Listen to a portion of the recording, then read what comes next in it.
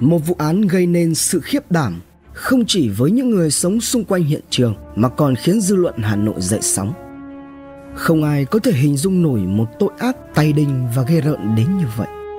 Một vụ án khiến người ta gây sợ bởi hung thủ đã tự tay cầm dao để làm cái việc của một gã đồ tể với chính đồng loại của mình, chính bạn gái của mình. Và để làm được điều đó thì hoặc hắn phải có thần kinh thép hoặc hắn không phải là con người theo đúng nghĩa. Sát thủ xác chết không đầu là cụm từ mà nhiều người dùng để gọi kẻ thủ ác. Nguyễn Đức Nghĩa. Hãy cùng Độc Thám TV đi sâu vào tìm hiểu vụ án này. Xác chết không đầu Sau mấy ngày thấy người dân xôn xao về một thứ mùi lạ, vào sáng ngày 17 tháng 5 năm 2010, bảo vệ tòa trung cư G4 đường Trung Yên 1, phường Trung Hòa, Cầu Giấy, Hà Nội lên sân thượng kiểm tra, phát hiện ra thi thể của một người phụ nữ không đầu trong tình trạng khỏa thân tại phòng đổ rác trên sân thượng. Gần như ngay lập tức, dư luận dậy sóng. Vụ án gây nên sự khiếp đảm không chỉ với những người sống ở đây. Không ai có thể hình dung nổi một tội ác tay đình và ghê rợn đến như vậy. Sự việc này tạo nên một áp lực vô cùng nặng nề đối với những cán bộ điều tra của công an thành phố Hà Nội. Là người trực tiếp có mặt để thu thập các dấu vết, khám nghiệm hiện trường lúc đó Trung tá Lê Việt Dũng, Phó trưởng phòng kỹ thuật hình sự Công an thành phố Hà Nội cho biết, sau nửa ngày đánh vật với thi thể đang trong quá trình phân hủy mạnh và bầu không khí đặc quánh mùi tử khí, mười đầu ngón tay của nạn nhân cũng bị cắt bỏ khiến cho cơ quan điều tra gặp khó khăn. Các anh đã xác định được nạn nhân cao khoảng 1m55, độ tuổi từ 22 đến 25. Trước khi bị phân xác, nạn nhân tử vong do vết đâm thấu phổi từ phía sau dẫn đến mất máu cấp Thời gian xảy ra ít nhất đã là 15 ngày. Tầng 11 Dấu vết cực kỳ quan trọng là những vết máu li ti đã chuyển sang màu đen vẫn để lại trên tường và bậc cửa ra vào sân thượng được Trung tá Dũng phát hiện. Lần theo những dấu máu này, Trung tá Lê Việt Dũng nhận thấy nó tiếp tục kéo dài xuống đến chiếu nghỉ của tầng 11 thì biến mất. Như vậy, có đến 90% khả năng là điểm xuất phát của vụ án xảy ra tại tầng 11 của tòa nhà. Tuy nhiên, cơ quan công an không ghi nhận bất cứ trường hợp cư dân nào ở đây mất tích. Vậy, bị hại là ai? Liệu rằng có khả năng thủ phạm đã điều nạn nhân từ nơi khác đến đây rồi ra tay hạ sát? Câu hỏi này nhanh chóng được các trinh sát giải đáp bằng cách bí mật xác minh tất cả các căn hộ của tầng 11. Duy nhất chỉ có căn hộ số 1101 là chưa thể tiếp cận được. Tuy nhiên, bằng các biện pháp nghiệp vụ, Trung tá Dũng cũng lọt được vào căn hộ này. Chủ hộ là một cô gái có tên là Hoàng Thị Yến, sinh viên của một trường đại học tại Hà Nội. Tuy nhiên hiện đang đi vắng, chỉ có ba của Yến ở nhà. Với con mắt nghề nghiệp, Trung tá Dũng nhận ngay ra một số dấu hiệu khác lạ của căn phòng ngủ khi bức tường tại đây có một số vết sơn rất mới, trong lúc các bức còn lại thì vẫn là sơn cũ. Câu hỏi được đặt ra, dưới lớp sơn mới này liệu có phải là những dấu máu giống như vết máu trên tường thượng hay không? Đêm ấy, chúng ta Dũng gần như thức trắng cả đêm để canh chừng ở tòa nhà G4.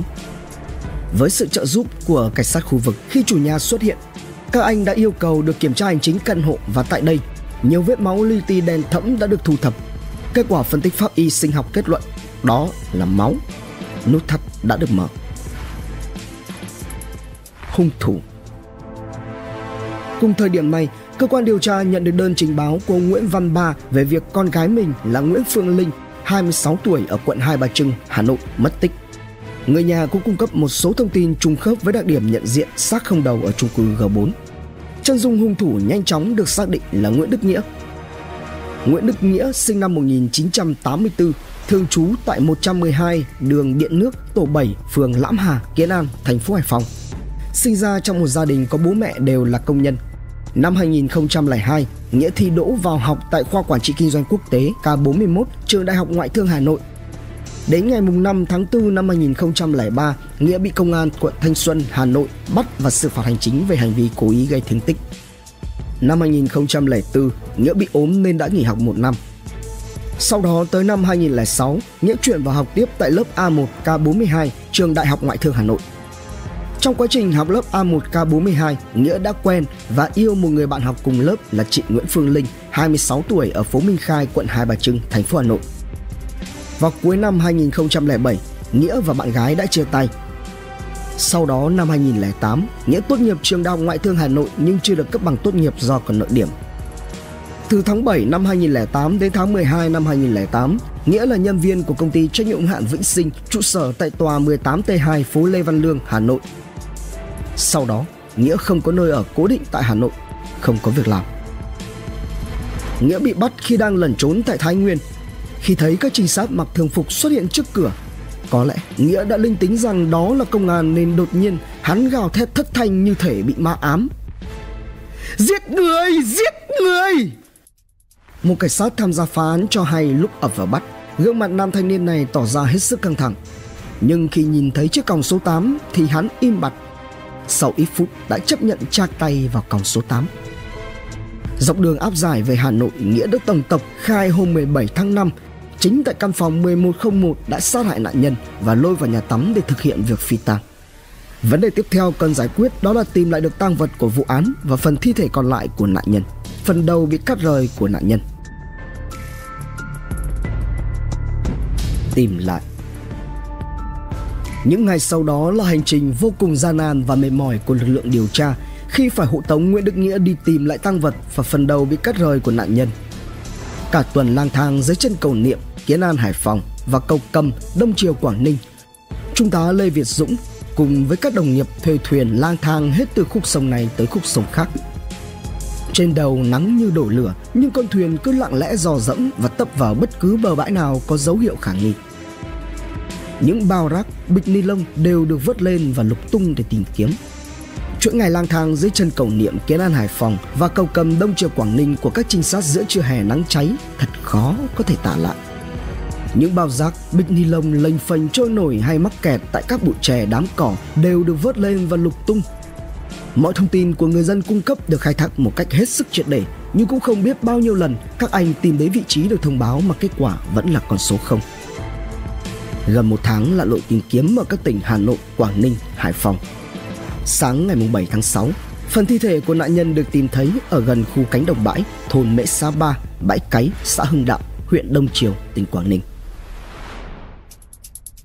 Linh ứng của giấc mơ Ông Nguyễn Văn Ba, bố đẻ của nạn nhân Nguyễn Phương Linh, vốn là một chiến sĩ công an về hưu, là người đã góp một phần không nhỏ công sức trong công cuộc tìm phần còn lại của thi thể nạn nhân.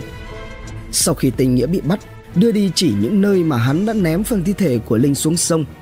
Ngày nào, ông cũng thuê xe từ Hà Nội chạy xuống Quảng Ninh lặn ngụp dưới dòng sông gần chục tiếng đồng hồ đến thâm gia tối mịt mới quay lại Hà Nội.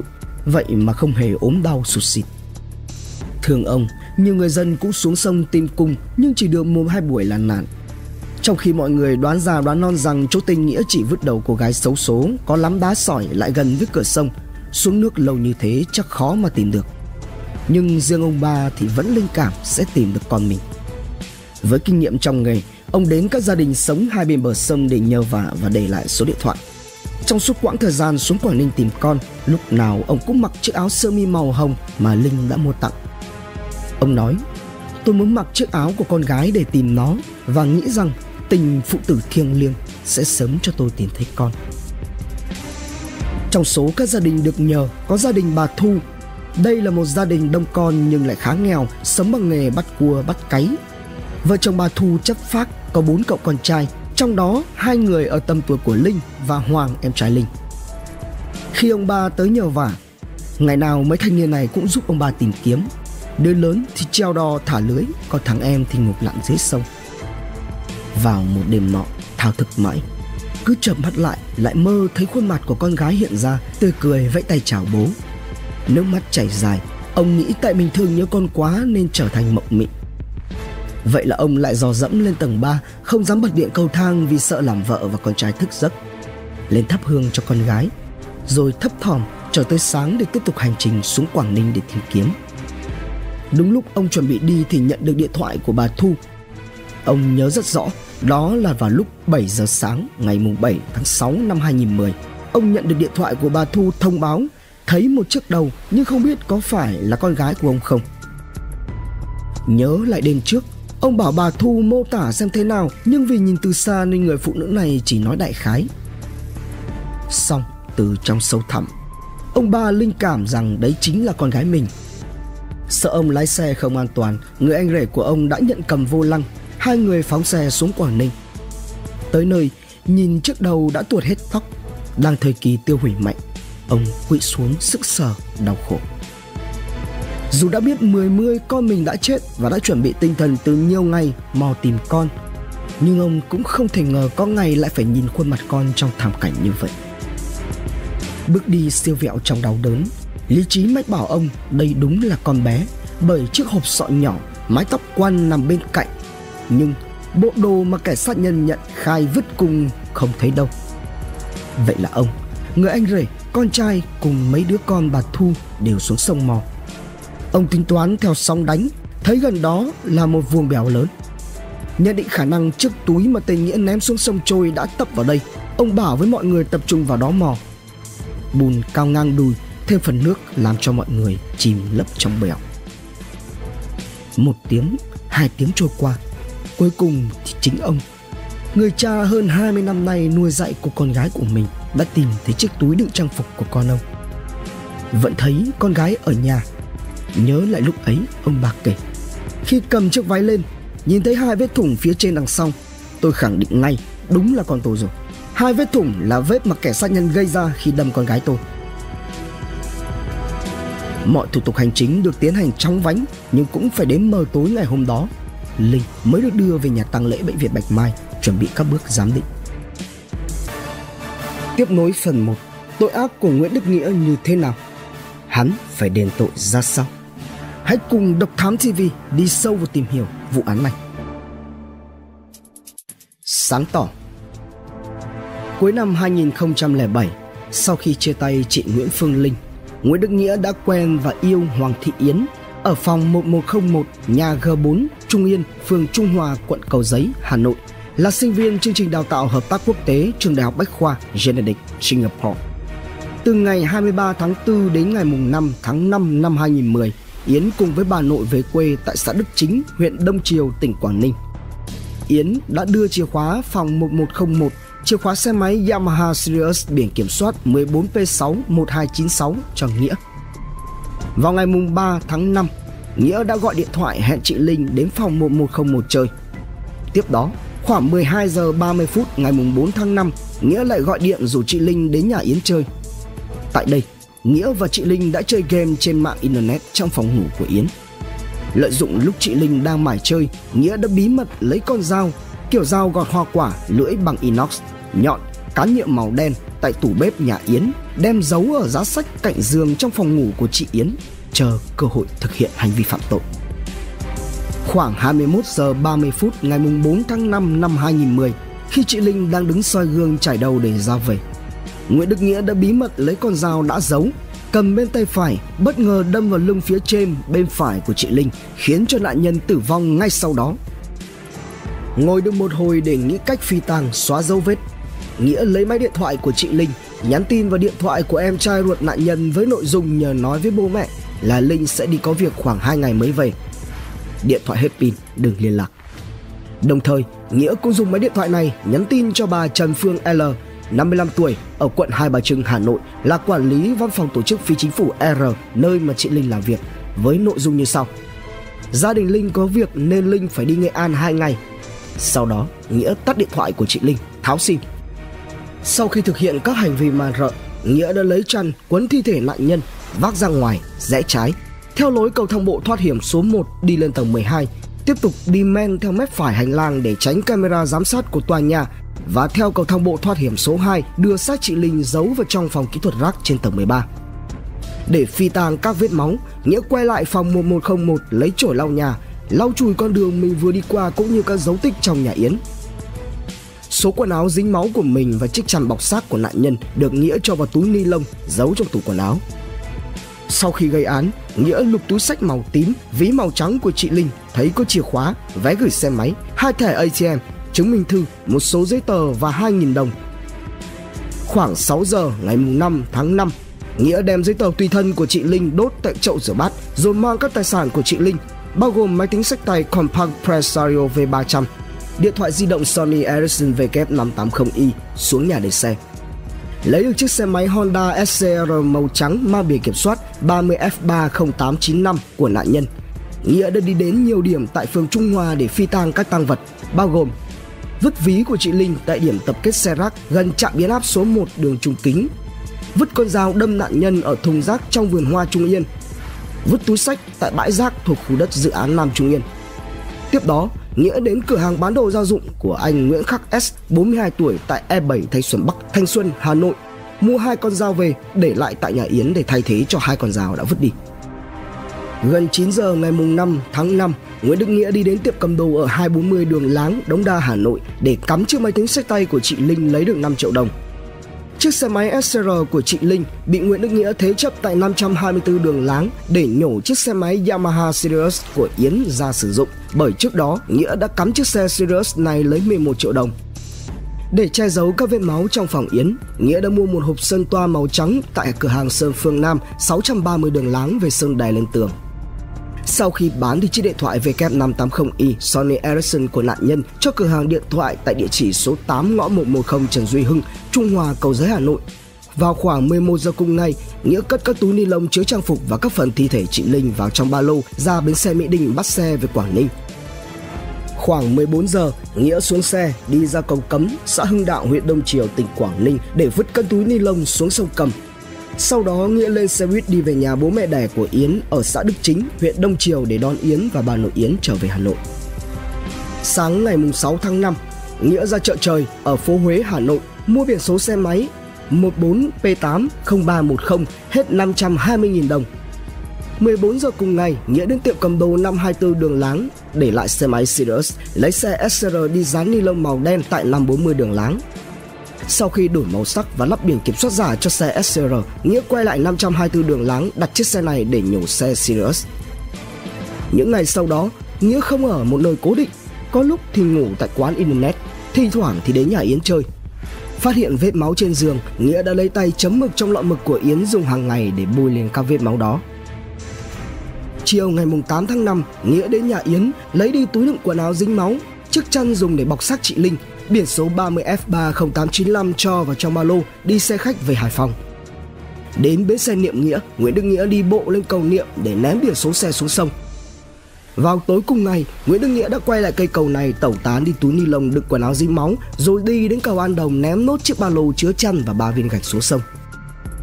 Đến ngày 17 tháng 5, khi biết được thi thể chị Linh đã bị phát hiện trên tầng 13 tòa nhà G4 Trung Yên, Nghĩa đã bỏ trốn lên nhà anh họ là Nguyễn Văn Hát, 46 tuổi ở tổ 18 phường Quang Trung, thành phố Thái Nguyên, rồi bị cơ quan điều tra bắt giữ vào ngày 18 tháng 5. Động cơ gây án Với cung cách điều tra thận trọng, tỉ mỉ, cơ quan công an đã có đầy đủ bằng chứng để khẳng định Nguyễn Đức Nghĩa có hành vi phạm tội. Tuy vậy, xuyên suốt quá trình điều tra, Nghĩa bảo lưu lời khai rằng Do thấy chị Linh nhận được nhiều tin nhắn và điện thoại của các bạn trai nên Nghĩa đã ghen tức và nảy sinh ý định giết người. Về điểm này, cơ quan điều tra xác định các cuộc gọi và tin nhắn đó đều của những người mà chị Linh quen biết trên mạng.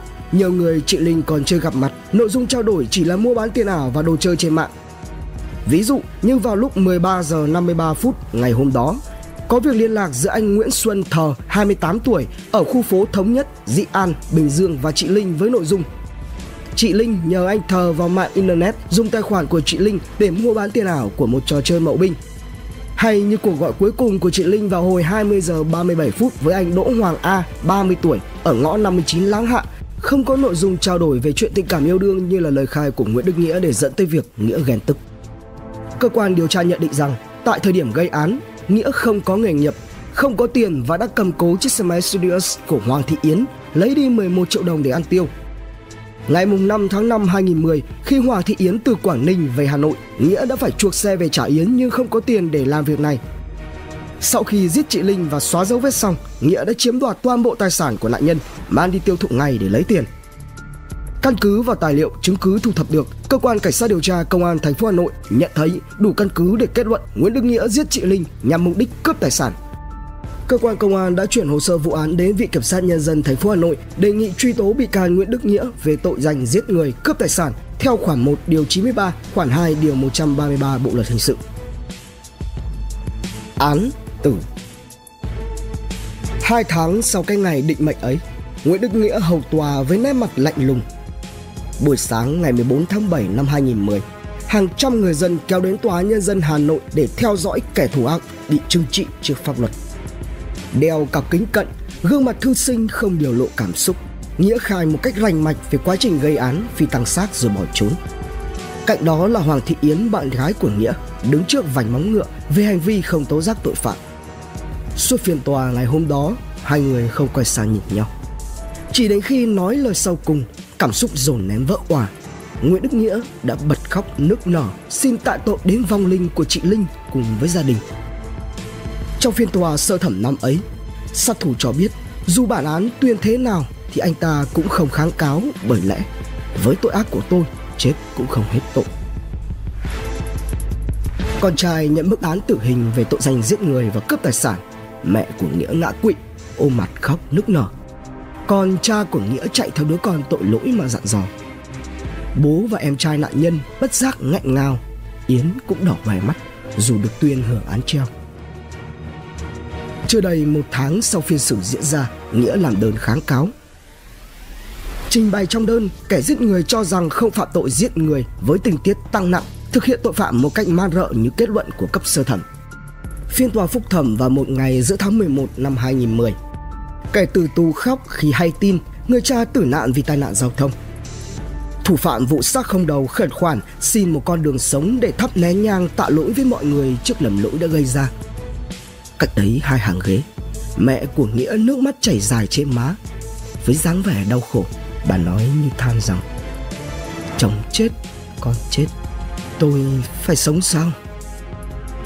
Do không có tình tiết mới nên cấp phúc thẩm bác đơn kháng cáo của y. Cố níu vào sợi dây sống mong manh cuối cùng, Nguyễn Đức Nghĩa làm đơn xin ân xá lên chủ tịch nước.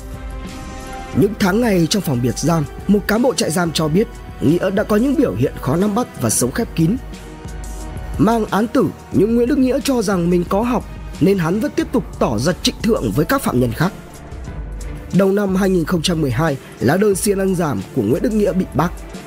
Đặc biệt, khi biết phải chịu án tử bằng hình thức tiêm thuốc độc, Nguyễn Đức Nghĩa càng tỏ ra buồn chán, đêm thường không ngủ hoặc ngủ rất ít, tới khoảng 2-3 giờ sáng lại thức dậy ngồi trầm tư. Chiều ngày 22 tháng 7 năm 2014, sau gần 1.500 ngày kể từ khi gây án, tử tù Nguyễn Đức Nghĩa đã phải trả giá cho tội ác mình gây ra. Trước khi bị đưa đi thi hành án, Nguyễn Đức Nghĩa tỏ ra khá bình tĩnh và viết thư về cho gia đình. Những dòng thư cuối Trong những ngày cuối cùng của cuộc đời, có lẽ do linh cảm được cái chết cận kề, Nguyễn Đức Nghĩa bỗng nhiên thay đổi tính nết, trở nên rất cục cằn và không ít lần đập đầu vào tường, song sắt, hỏng tự tử. Để đảm bảo an toàn cho Nguyễn Đức Nghĩa, vài ngày trước khi thi hành án tử hình, cán bộ trại tạm giam số 1 đã chuyển từ tù này tới một buồng giam đặc biệt. Phòng giam này tứ bề được che kín bằng xốp và chăn bông để ngăn anh ta làm liều. Trong thời khắc chờ thi hành án, Nghĩa đã viết vài dòng gửi về cho gia đình. Trong khổ giấy ngang với 8 dòng chữ, tử tù 30 tuổi viết những lời rỉ máu. Mẹ, anh chị và các con thân yêu. Vậy là sau hơn 4 năm dài chờ đợi, cuối cùng cũng đến ngày con được trở về bên gia đình. Mọi người hãy mừng cho con nhé. Bằng nét chữ run rẩy, Nghĩa cũng bảo thêm. Yêu mẹ, anh, các chị và các con vô cùng. Cuối thư, cựu sinh viên Đại học Ngoại thương còn viết rằng Con của mẹ, Nguyễn Đức Nghĩa Lá thư này được Nghĩa viết vào lúc 17 giờ 30 phút ngày 22 tháng 7. Dừng bút, Nguyễn Đức Nghĩa được cán bộ quản giáo bê cho bát phở ga, nhưng anh ta cũng chỉ ăn được vài gắp rồi buông đũa. Lá thư này đã khiến cho không ít người được tiếp cận, tỏ ra bất ngờ khi ngoài mẹ và anh chị, tử tù này còn gửi cho các con. Nhiều người cho rằng từ các con ở đây có nghĩa là các cháu của Nghĩa Tuy nhiên theo tìm hiểu, lễ thói của người Thái Bình tức là quê nội của Nghĩa và người Hải Phòng nơi mà Nghĩa sinh ra và lớn lên hay là người Hà Nội nơi Nghĩa đã sinh sống tới 12 năm đều không có nơi nào gọi cháu là con. Lý giải về hành vi phạm tội Trung tá Trần Ngọc Hà, đội trưởng đội điều tra trọng án phòng cảnh sát điều tra tội phạm về trật tự xã hội PC45 Công an Hà Nội cho biết, từ hôm bị bắt giữ, tên Nghĩa vẫn giữ được thái độ bình tĩnh, không có biểu hiện về suy sụp So với nhiều đối tượng từng gây ra những vụ trọng án ở trước đó, Nguyễn Đức Nghĩa thuộc loại có trình độ, đặc biệt về tư duy và trí nhớ thì rất tốt. Điều này thể hiện ngay ở những từ, lời khai đầu tiên. Nghĩa đã mô tả lại từng hành vi phạm tội, đặc điểm của nạn nhân hết sức chi tiết, chuẩn xác, rành rọt. Mặc dù những thủ đoạn xóa dấu vết nhằm che giấu tội ác của Nguyễn Đức Nghĩa không phải là tinh vi, nhưng nó lại có sự tính toán rất kỹ ở việc tẩu tán tàng vật. Nghĩa là đối tượng có thành phần gia đình cơ bản, không thuộc diện khó khăn, được ăn học tử tế. Tuy nhiên, không có chí hướng phấn đấu, rèn luyện nên mặc dù đỗ đại học ngoại thương, một ngôi trường có điểm tuyển sinh cao nhưng Nghĩa để nợ môn, hiện chưa có bằng tốt nghiệp. Nhu cầu tiêu tiền của một thanh niên đang có người yêu lại ham chơi game và không có nghề nghiệp ổn định khiến cho Tề Nghĩa trong những ngày trong nhà giúp đã mang xe máy của người yêu là Hoàng Thị Yến đi đặt tại hiệu cầm đồ. Số tiền này đã được Nghĩa tiêu hết. Khi giết chị Nguyễn Phương Linh người yêu cũ, Tên Nghĩa đã mang ngay tài sản đi tiêu thụ. Trong đó chiếc xe máy Acer của nạn nhân được thế vào hiệu cầm đồ để lấy ra chiếc xe máy của Hoàng Thị Yến. Đây là dấu hiệu rõ nhất về mục đích cướp tài sản. Cũng không hẳn là tội phạm trẻ tức là Nghĩa đã 26 tuổi, nhưng là loại tội phạm trí thức gây án đặc biệt nghiêm trọng, hành vi hết sức màn rợ. Trước thủ đoạn gây án và những hành động vô nhân tính, vô cảm đến gây sợ của tên Nguyễn Đức Nghĩa, nhiều người đã cho rằng tên này có vấn đề về mặt tâm lý. Tuy nhiên, trước và sau khi gây án, Nguyễn Đức Nghĩa vẫn sinh hoạt một cách bình thường, trạng thái tâm lý bình tĩnh, ổn định ngay cả đến lúc bị bắt giữ. Việc Nghĩa sau khi giết người đã lấy của nạn nhân một xe máy một máy tính sách tay, điện thoại di động đem bán và cầm đồ lấy tiền là quá rõ ràng, thể hiện hành vi cướp tài sản. Cơ quan cảnh sát điều tra cũng đã khởi tố bị can đối với Nghĩa với hai tội danh giết người và cướp tài sản. Thế nhưng, nếu xét về tận cùng, việc Nguyễn Đức Nghĩa cần tiền như vậy liệu đã đến mức bức bách phải giết người một cách man rợ hay không? Bởi vì gia đình của Nghĩa là gia đình có kinh tế khá giả. Bản thân Nghĩa thì cũng thi thoảng kiếm được tiền từ kinh doanh trò chơi game trên mạng Hoàng Thị Yến lại rất yêu nghĩa Cô gái ấy sẵn sàng trao cả chìa khóa nhà của mình cho hắn thì chắc sẽ không đến mức chỉ chết anh ta Về chuyện cắm xe máy của mình. Theo một số đánh giá, Động cơ cướp tài sản của Nguyễn Đức Nghĩa chỉ xuất hiện song hành Hoặc sau khi đã giết chị Linh. Còn nguyên nhân sâu xa hành động giết người tàn ác của Nghĩa Phải chính là sự bức bách về mặt tinh thần. Trong lời khai của mình, Nghĩa cũng từng đã viết, Tôi cảm thấy mình bị xúc phạm khi Linh vừa ngủ với tôi lại có thể ngủ với người khác. Một số cán bộ chuyên tham gia điều tra tội phạm cũng nghiêng về phía giả thuyết này. Họ cho rằng trong người đàn ông hay tồn tại một sự ích kỷ tình cảm. Dù Nguyễn Đức Nghĩa không phải là yêu Linh nhất, yêu Linh nhiều, nhưng hắn cũng không muốn Linh thuộc sở hữu của người khác. Nhất là khi cái cảm giác yêu đương vừa thăng hoa lại thấy người vừa nói lời yêu thương quan hệ thể xác với mình đi nói chuyện yêu đương với kẻ khác. Sự ích kỷ ấy khiến Nghĩa cho rằng mình đã bị xúc phạm nghiêm trọng.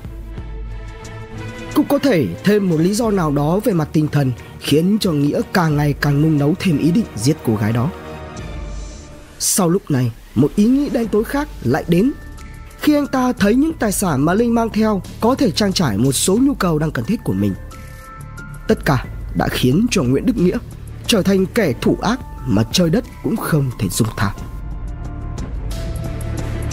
báo động những diễn biến bất thường về tâm lý tội phạm.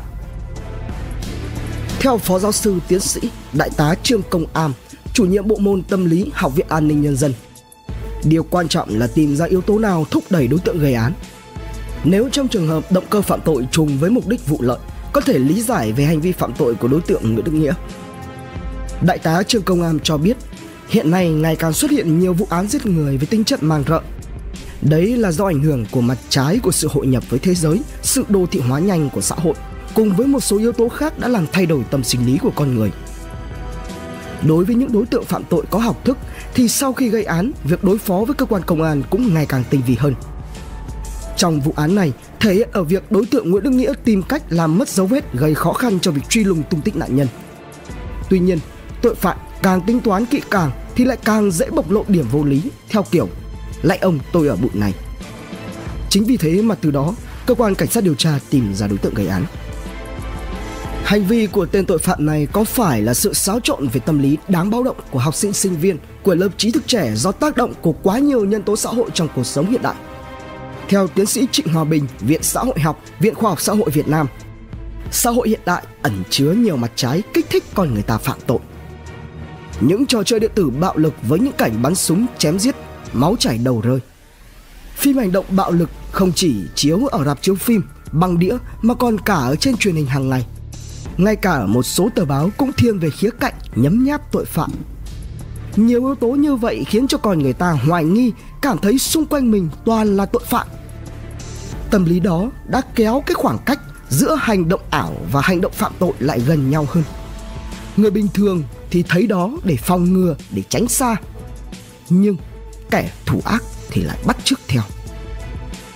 Thượng tá Nguyễn Văn Quyền, trưởng phòng kỹ thuật hình sự PC54 Công an Hà Nội cho rằng, theo quan điểm cổ điển về tâm lý tội phạm, sau khi gây án, đặc biệt đối với các vụ án giết người, tội phạm thường rất run sợ. Thế nhưng trong thời gian gần đây lại gia tăng những vụ án giết người có tính chất dã man, không đi theo quy luật chung của tội phạm là điều rất bất thường, đặc biệt diễn ra ở các tội phạm trẻ có học thức.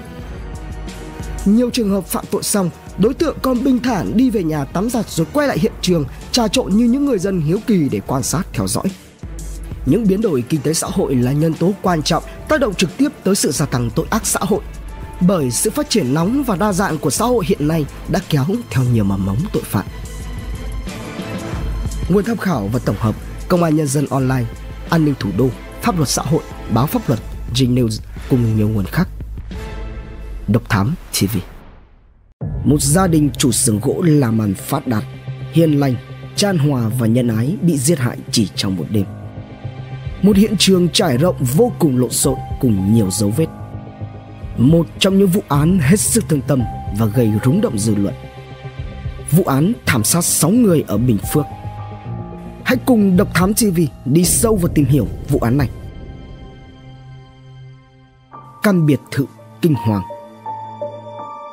một căn biệt thự khang trang nằm bên quốc lộ 13, ấp 1, xã Minh Hưng, huyện Trơn Thành, Bình Phước. Khuôn viên biệt thự rộng khoảng 1.000 mét vuông nằm tại khu dân cư, chỉ cách trụ sở công an xã khoảng 100 mét, kín cổng, cao tường. Vừa là nơi ở, vừa đồng thời là công ty chế biến gỗ quốc Anh của chủ nhà đặt xưởng sản xuất gỗ Bolet, gia đình ông Lê Văn Mỹ. Ông Mỹ là một doanh nhân làm ăn phát đạt, sống rất tốt và không có mâu thuẫn với ai – gia đình ông có nhiều đóng góp tích cực cho địa phương. Nhưng ai ngờ được rằng sẽ có ngày tai họa ập xuống. Khoảng 6 giờ 45 phút sáng ngày 7 tháng 7 năm 2015, một người phụ nữ có tên là Đoàn Thị Cẩm Loan, sinh năm 1975, tạm trú tại ấp 2 xã Minh Hưng, là người làm giúp việc cho gia đình của ông Lê Văn Mỹ 48 tuổi đến làm thì thấy cổng sau của căn biệt thự nơi gia đình ông Mỹ ở bị khóa, cửa trước thì khép hờ. Vào phía bên trong nhà, bà Loan phát hiện thêm tổng cộng 5 thi thể bao gồm vợ chồng ông bà chủ nhà, con trai, con gái và cháu gái. Sự việc nhanh chóng được báo với chính quyền địa phương và cơ quan công an tỉnh Bình Phước. Tiếp nhận thông tin, công an tỉnh Bình Phước đã nhanh chóng phong tỏa hiện trường để điều tra. Khi công an đến hiện trường thì đã tìm thêm được thi thể một bé trai 14 tuổi nằm ở ngoài sân gần phía trong cổng nhà mặt đường quốc lộ 13. Tất cả họ đều bị trói, có nhiều vết thương ở vùng cổ. Những người thiệt mạng trong căn biệt thự này bao gồm ông Lê Văn Mỹ, sinh năm 1967, tên thường gọi là Quốc, chủ nhà. Bà Nguyễn Lê Ánh Nga, sinh năm 1972, vợ ông Mỹ, tên thường gọi là Ánh. Lê Thị Ánh Linh, sinh năm 1993, con gái ông Mỹ. Lê Quốc Anh, sinh năm 2000, tên thường gọi là Bôn, con trai ông Mỹ. Dư Thị Tố Như, sinh năm 1997, là cháu ruột bà Nga và Dương Minh Vĩ, tên thường gọi là Bo, sinh năm 2001, cháu bà Nga và em gái Như. Như và Vĩ là hai chị em, thường xuyên ở cùng với gia đình ông Mỹ bởi do mẹ là em gái của bà Nga đã ly dị từ lâu và gọi bà Nga bằng mẹ. Tại hiện trường, một điều kỳ diệu đã xảy ra. Bé gái là con gái út của ông Mỹ có tên thường gọi là Na, khi đó 18 tháng tuổi, ngủ chung với cha mẹ nhưng lại may mắn sống sót lãnh đạo công an tỉnh Bình Phước xác định đây là một vụ án đặc biệt nghiêm trọng. Công an tỉnh Bình Phước phối hợp với Bộ Công an để điều tra. Ngay từ trưa ngày 7 tháng 7, Bộ Công an đã điều động những điều tra viên, trinh sát giải dạn kinh nghiệm thường tham gia đánh án đặc biệt nghiêm trọng như là vụ Lê Văn Luyện hay vụ Nguyễn Đức Nghĩa có mặt tại Bình Phước để hỗ trợ. Khu vực xung quanh hiện trường nhanh chóng xôn xao. Trong khi cảnh sát vẫn đang phong tỏa nghiêm ngặt hiện trường thì đã có tới hàng trăm người vây kín quanh nhà nạn nhân. Các đơn vị nghiệp vụ của Bộ Công an, Công an tỉnh Bình Phước đã tiến hành thu thập toàn bộ dấu vân tay, vết máu có tại hiện trường trong khu biệt thự để xét nghiệm, phân tích. Ngay trong chiều cùng ngày, Công an tỉnh Bình Phước đã tổ chức họp báo thông tin sơ bộ về vụ thảm sát kinh hoàng tại Bình Phước, giết hại 6 người. Những cuộc gọi bất thường Cảnh sát đã tiến hành lấy lời khai của những người có mối quan hệ với gia đình nạn nhân. Hàng trăm công nhân cũng được thẩm vấn ngay tại khu nhà xưởng. Trong quá trình làm việc với cơ quan điều tra, người em trai của chủ nhà và người tài xế chở hàng cũng đã cung cấp những thông tin hết sức quan trọng cho cơ quan điều tra. Đó là đều đã nhận được những cuộc điện thoại lạ vào dạng sáng ngày 7 tháng 7. Lúc 3 giờ 18 phút sáng ngày 7 tháng 7, anh Nguyễn Lê Hưng, 33 tuổi, là em trai của bà Nga phát hiện ra cuộc gọi nhỡ của cháu Như và cháu Linh nên gọi lại nhưng không thể liên lạc được. Gọi thêm vài lần nữa thì cả hai đều nghe máy, nói cậu Hưng ơi với giọng rất bình thường rồi tắt máy. Do đột ngột bị các cháu gọi vào lúc rạng sáng, anh Hưng trở nên rất lo lắng. Vào lúc 3 giờ 25 phút, anh Hưng bấm số gọi cho bà Nga thì được chị gái nói rằng không có gì đâu, ngủ đi. Nghe vậy, anh Hưng yên tâm đi ngủ tiếp. Còn theo thông lệ thì cứ 4 giờ sáng hàng ngày, căn biệt thự này sẽ có người lái xe đến chở củi đi. Tuy nhiên, khoảng 3 giờ ngày 7 tháng 7, người tài xế chở củi thân thuộc bỗng nhận được cuộc điện thoại của bà Nga nói rằng bữa nay không cần đến chở củi nữa. Khám nghiệm ngay sau khi nhận được tin báo, Bộ trưởng Công an đã chỉ đạo Tổng cục Cảnh sát cử lực lượng điều tra có kinh nghiệm phối hợp với công an địa phương tổ chức khám nghiệm hiện trường, khám nghiệm tử thi, thu thập tài liệu, dấu vết. Giám đốc Công an tỉnh, thủ trưởng cơ quan điều tra đã có mặt tại hiện trường để chỉ đạo các lực lượng tiến hành ngay các biện pháp điều tra ban đầu. Quan trọng nhất là công tác bảo vệ hiện trường và tổ chức lực lượng tiến hành khám nghiệm hiện trường – Phòng kỹ thuật hình sự cũng đã huy động toàn bộ lực lượng của đơn vị gồm 11 cán bộ chiến sĩ cùng với 4 cán bộ của Cục Cảnh sát Hình sự phía Nam. Cuộc khám nghiệm được tiến hành trong vòng 3 ngày từ ngày mùng 7 đến ngày mùng 9 tháng 7. Bên trong căn nhà, cảnh sát cũng đã thu giữ được nhiều vật chứng và dữ liệu bao gồm một số camera an ninh. Điểm phức tạp của căn biệt thự đến từ xưởng gỗ của gia đình ông Mỹ có hơn 100 công nhân làm việc và thông với biệt thự. Trong khuôn viên nhà được lắp đặt rất nhiều camera, nhưng sau khi vụ án xảy ra thì cảnh sát không thu được hình ảnh. Theo người thân của nạn nhân, gia đình ông Mỹ đang sửa chữa căn nhà phía sau nên đã tạm ngừng hệ thống điện. Việc không thu giữ được dữ liệu camera an ninh vào khoảng thời gian trước khi vụ án được phát hiện dẫn đến việc truy bắt hung thủ sẽ khó khăn hơn rất nhiều. Tại hiện trường có nhiều dấu hiệu cho thấy có sự chống cự của các nạn nhân từ trong nhà ra đến ngoài sân. Tiếp tục kiểm tra, khám nghiệm hiện trường, lực lượng khoa học hình sự tìm thấy 5 dấu vân tay trên cửa. Bước đầu, cơ quan điều tra nhận định đây có thể là một vụ giết người cướp của bởi một số vật dụng trong nhà như tủ, túi sách, ví có dấu hiệu bị lục lọi. Tuy nhiên, một số tài sản có giá trị như chiếc ô tô Audi trị giá hơn 5 tỷ đồng, một ô tô hơn 1 tỷ đồng và nhiều xe tải phục vụ chuyên chở hàng hóa thì vẫn còn lại tại gara. Tới ngày 10 tháng 7, cơ quan công an mở rộng phạm vi điều tra với bán kính lên tới hàng trăm mét quanh hiện trường vụ thảm sát 6 người. Hàng trăm cán bộ chiến sĩ công an đã tiến hành điều tra, khám nghiệm hiện trường cả ngày và đêm. Nhiều thùng rác, khuôn viên nhà dân ở gần đó cũng bị sới lên để truy tìm các dấu vết, chứng cứ dù là nhỏ nhất của hung thủ. Quá trình khám nghiệm hiện trường đã phát hiện và thu giữ được tổng cộng 156 dấu vết vật chứng các loại. Sau khi sàng lọc, những dấu vết quan trọng đã được chuyển đi giám định trong đó có những dấu vân tay khả nghi đã được chuyển về Trung tâm Thông tin Tội phạm được đặt tại Cục Hồ sơ Nghiệp vụ Cảnh sát. Bằng những trang thiết bị và phần mềm hiện đại, các chiến sĩ hồ sơ đã có được những manh mối quan trọng để cơ quan điều tra định hướng được động cơ gây án và khoanh vùng được những đối tượng tình nghi. Một trong những nhận định quan trọng đó là đây không phải là tội ác được thực hiện bởi một người. Để công tác khám nghiệm tử thi đảm bảo an toàn và nhanh chóng kịp thời, 16 giờ 30 phút chiều ngày 7 tháng 7, Thi thể của 6 nạn nhân đã được đưa về Bệnh viện Đa khoa huyện Trơn Thành để phục vụ công tác khám nghiệm tử thi. Trong quá trình này đã tiến hành thu mẫu vân tay, vân chân để phục vụ giám định dấu vết đường vân, thu mẫu máu để giám định ADN. Trên thi thể của các nạn nhân có dấu vết bị trói, cùng với đó là nhiều vết đâm chí mạng. Đồng thời, vùng cổ có nhiều vết đâm. Điểm đặc biệt cho thấy mức độ ra tay tàn độc của hung thủ là tất cả các nạn nhân đều bị đâm thủng tim. Điều này đã giúp cho ban chuyên án đánh giá đối tượng gây án không phải là giết người cướp tài sản đơn thuần mà còn phải có quen biết và có mâu thuẫn sâu sắc với gia đình nạn nhân. Ngay cả nếu như có mâu thuẫn về làm ăn, thuê sát thủ chuyên nghiệp thì cũng không thể ra tay tàn bạo như vậy. Điều tra Chiều ngày 8 tháng 7, Cơ quan Cảnh sát điều tra Công an tỉnh Bình Phước đã ra quyết định khởi tố vụ án và thành lập ban chuyên án điều tra truy xét thủ phạm giết 6 người cướp tài sản. Ngày 9 tháng 7, Cơ quan Cảnh sát điều tra Công an tỉnh Bình Phước đã phát đi thông báo kêu gọi người dân tố giác tội phạm, phục vụ công tác điều tra, truy bắt đối tượng. Nhiều cảnh sát cũng đã xuống đường để phát thư vận động của công an huyện Trơn Thành cho người đi đường, chợ, công nhân xung quanh khu vực biệt thự của gia đình ông Mỹ. Cũng trong sáng cùng ngày, ông Phạm Đức Thiệu, Phó vụ trưởng vụ trật tự xã hội Viện Kiểm sát Nhân dân tối cao cùng với Thiếu tướng Hồ Sĩ Tiến, Cục trưởng Cục Cảnh sát điều tra tội phạm về trật tự xã hội Tổng cục Cảnh sát Bộ Công an kiểm tra lại hiện trường vụ án.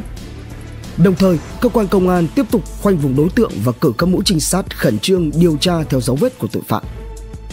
Ngoài phối hợp với các biện pháp nghiệp vụ hiện trường, ban chuyên án đã phối hợp với công an địa phương các tỉnh như Bình Dương, Tây Ninh, Đồng Nai, Đắk Nông và thành phố Hồ Chí Minh ra soát toàn bộ các băng nhóm tội phạm, các đối tượng hình sự để truy xét về mối quan hệ làm ăn của ông Mỹ và coi đó có phải là nguyên nhân của vụ thảm sát hay không.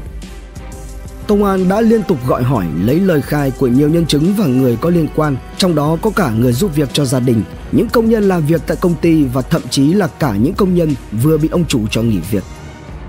Tất cả những mối quan hệ về làm ăn, quan hệ xã hội của các nạn nhân đều được cơ quan điều tra khoanh vùng để truy xét đối tượng. Theo thông tin thu thập được, vợ chồng ông Mỹ rất nhân hậu, cưu mang nhiều lao động nghèo, hầu hết đến từ các tỉnh miền Tây. Ngoài việc kinh doanh, vợ chồng ông Mỹ cũng có quan tâm chăm sóc đến đời sống công nhân. Vào các dịp tất niên, ngoài việc tổ chức chiêu đãi tiệc thì bà Nga còn có mua xe máy, tivi, tủ lạnh để những người làm công bốc thăm may mắn. Gia đình ông Mỹ không những cưu mang nhiều lao động nghèo mà còn là mạnh thường quân ở địa phương. Nhìn chung, vợ chồng ông Mỹ sống tràn hòa với hàng xóm láng giềng, chưa từng vi phạm pháp luật. Mới đây, ông Mỹ đầu tư một mảnh đất ở huyện Hớn Quản, Bình Phước có kế hoạch di rời dần nhà xưởng ra khỏi khu dân cư. Ông Mỹ đã chuyển nhiều máy móc thiết bị đến đó. Tuy nhiên, đây cũng là thời điểm mà công việc kinh doanh của vợ chồng ông gặp phải trở ngại. Hay có lần, ông Mỹ đã nói với cậu em là đang nợ tiền hàng khoảng 5 đến 10 tỷ đồng. Còn vào thứ sáu tuần trước thì ông Mỹ hẹn với chủ nợ để trả tiền, nhưng ông này đã đi thành phố Hồ Chí Minh nên sự việc không diễn ra như dự định. Bên cạnh đó, tất cả những diễn biến về tâm lý của những người thân, người đến viếng đám tang đều được các điều tra viên quan sát đưa vào tầm ngắm đối với các đối tượng tình nghi. Nghi phạm Trong quá trình điều tra, khi tìm hiểu ai trong số các mối quan hệ của từng nạn nhân đang có mâu thuẫn thì đầu mối được các trinh sát của cục C45 đặc biệt quan tâm là mối quan hệ của Lê Thị Ánh Linh, con gái ông Mỹ. Linh từng yêu một thanh niên từ nhiều năm trước. Với những chứng cứ thu thập ban đầu thì có thể xác định mối quan hệ tình cảm của Linh là có căn cứ để dẫn đến ám mạng.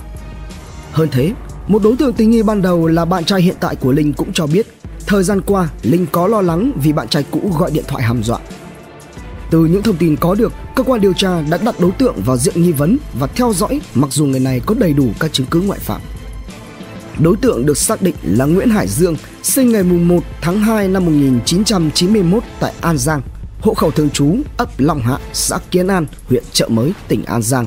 Hiện trú tại số 290 Sượp 10, tổ 2, ấp 1, xã Nhị Bình, huyện Hóc Môn, thành phố Hồ Chí Minh.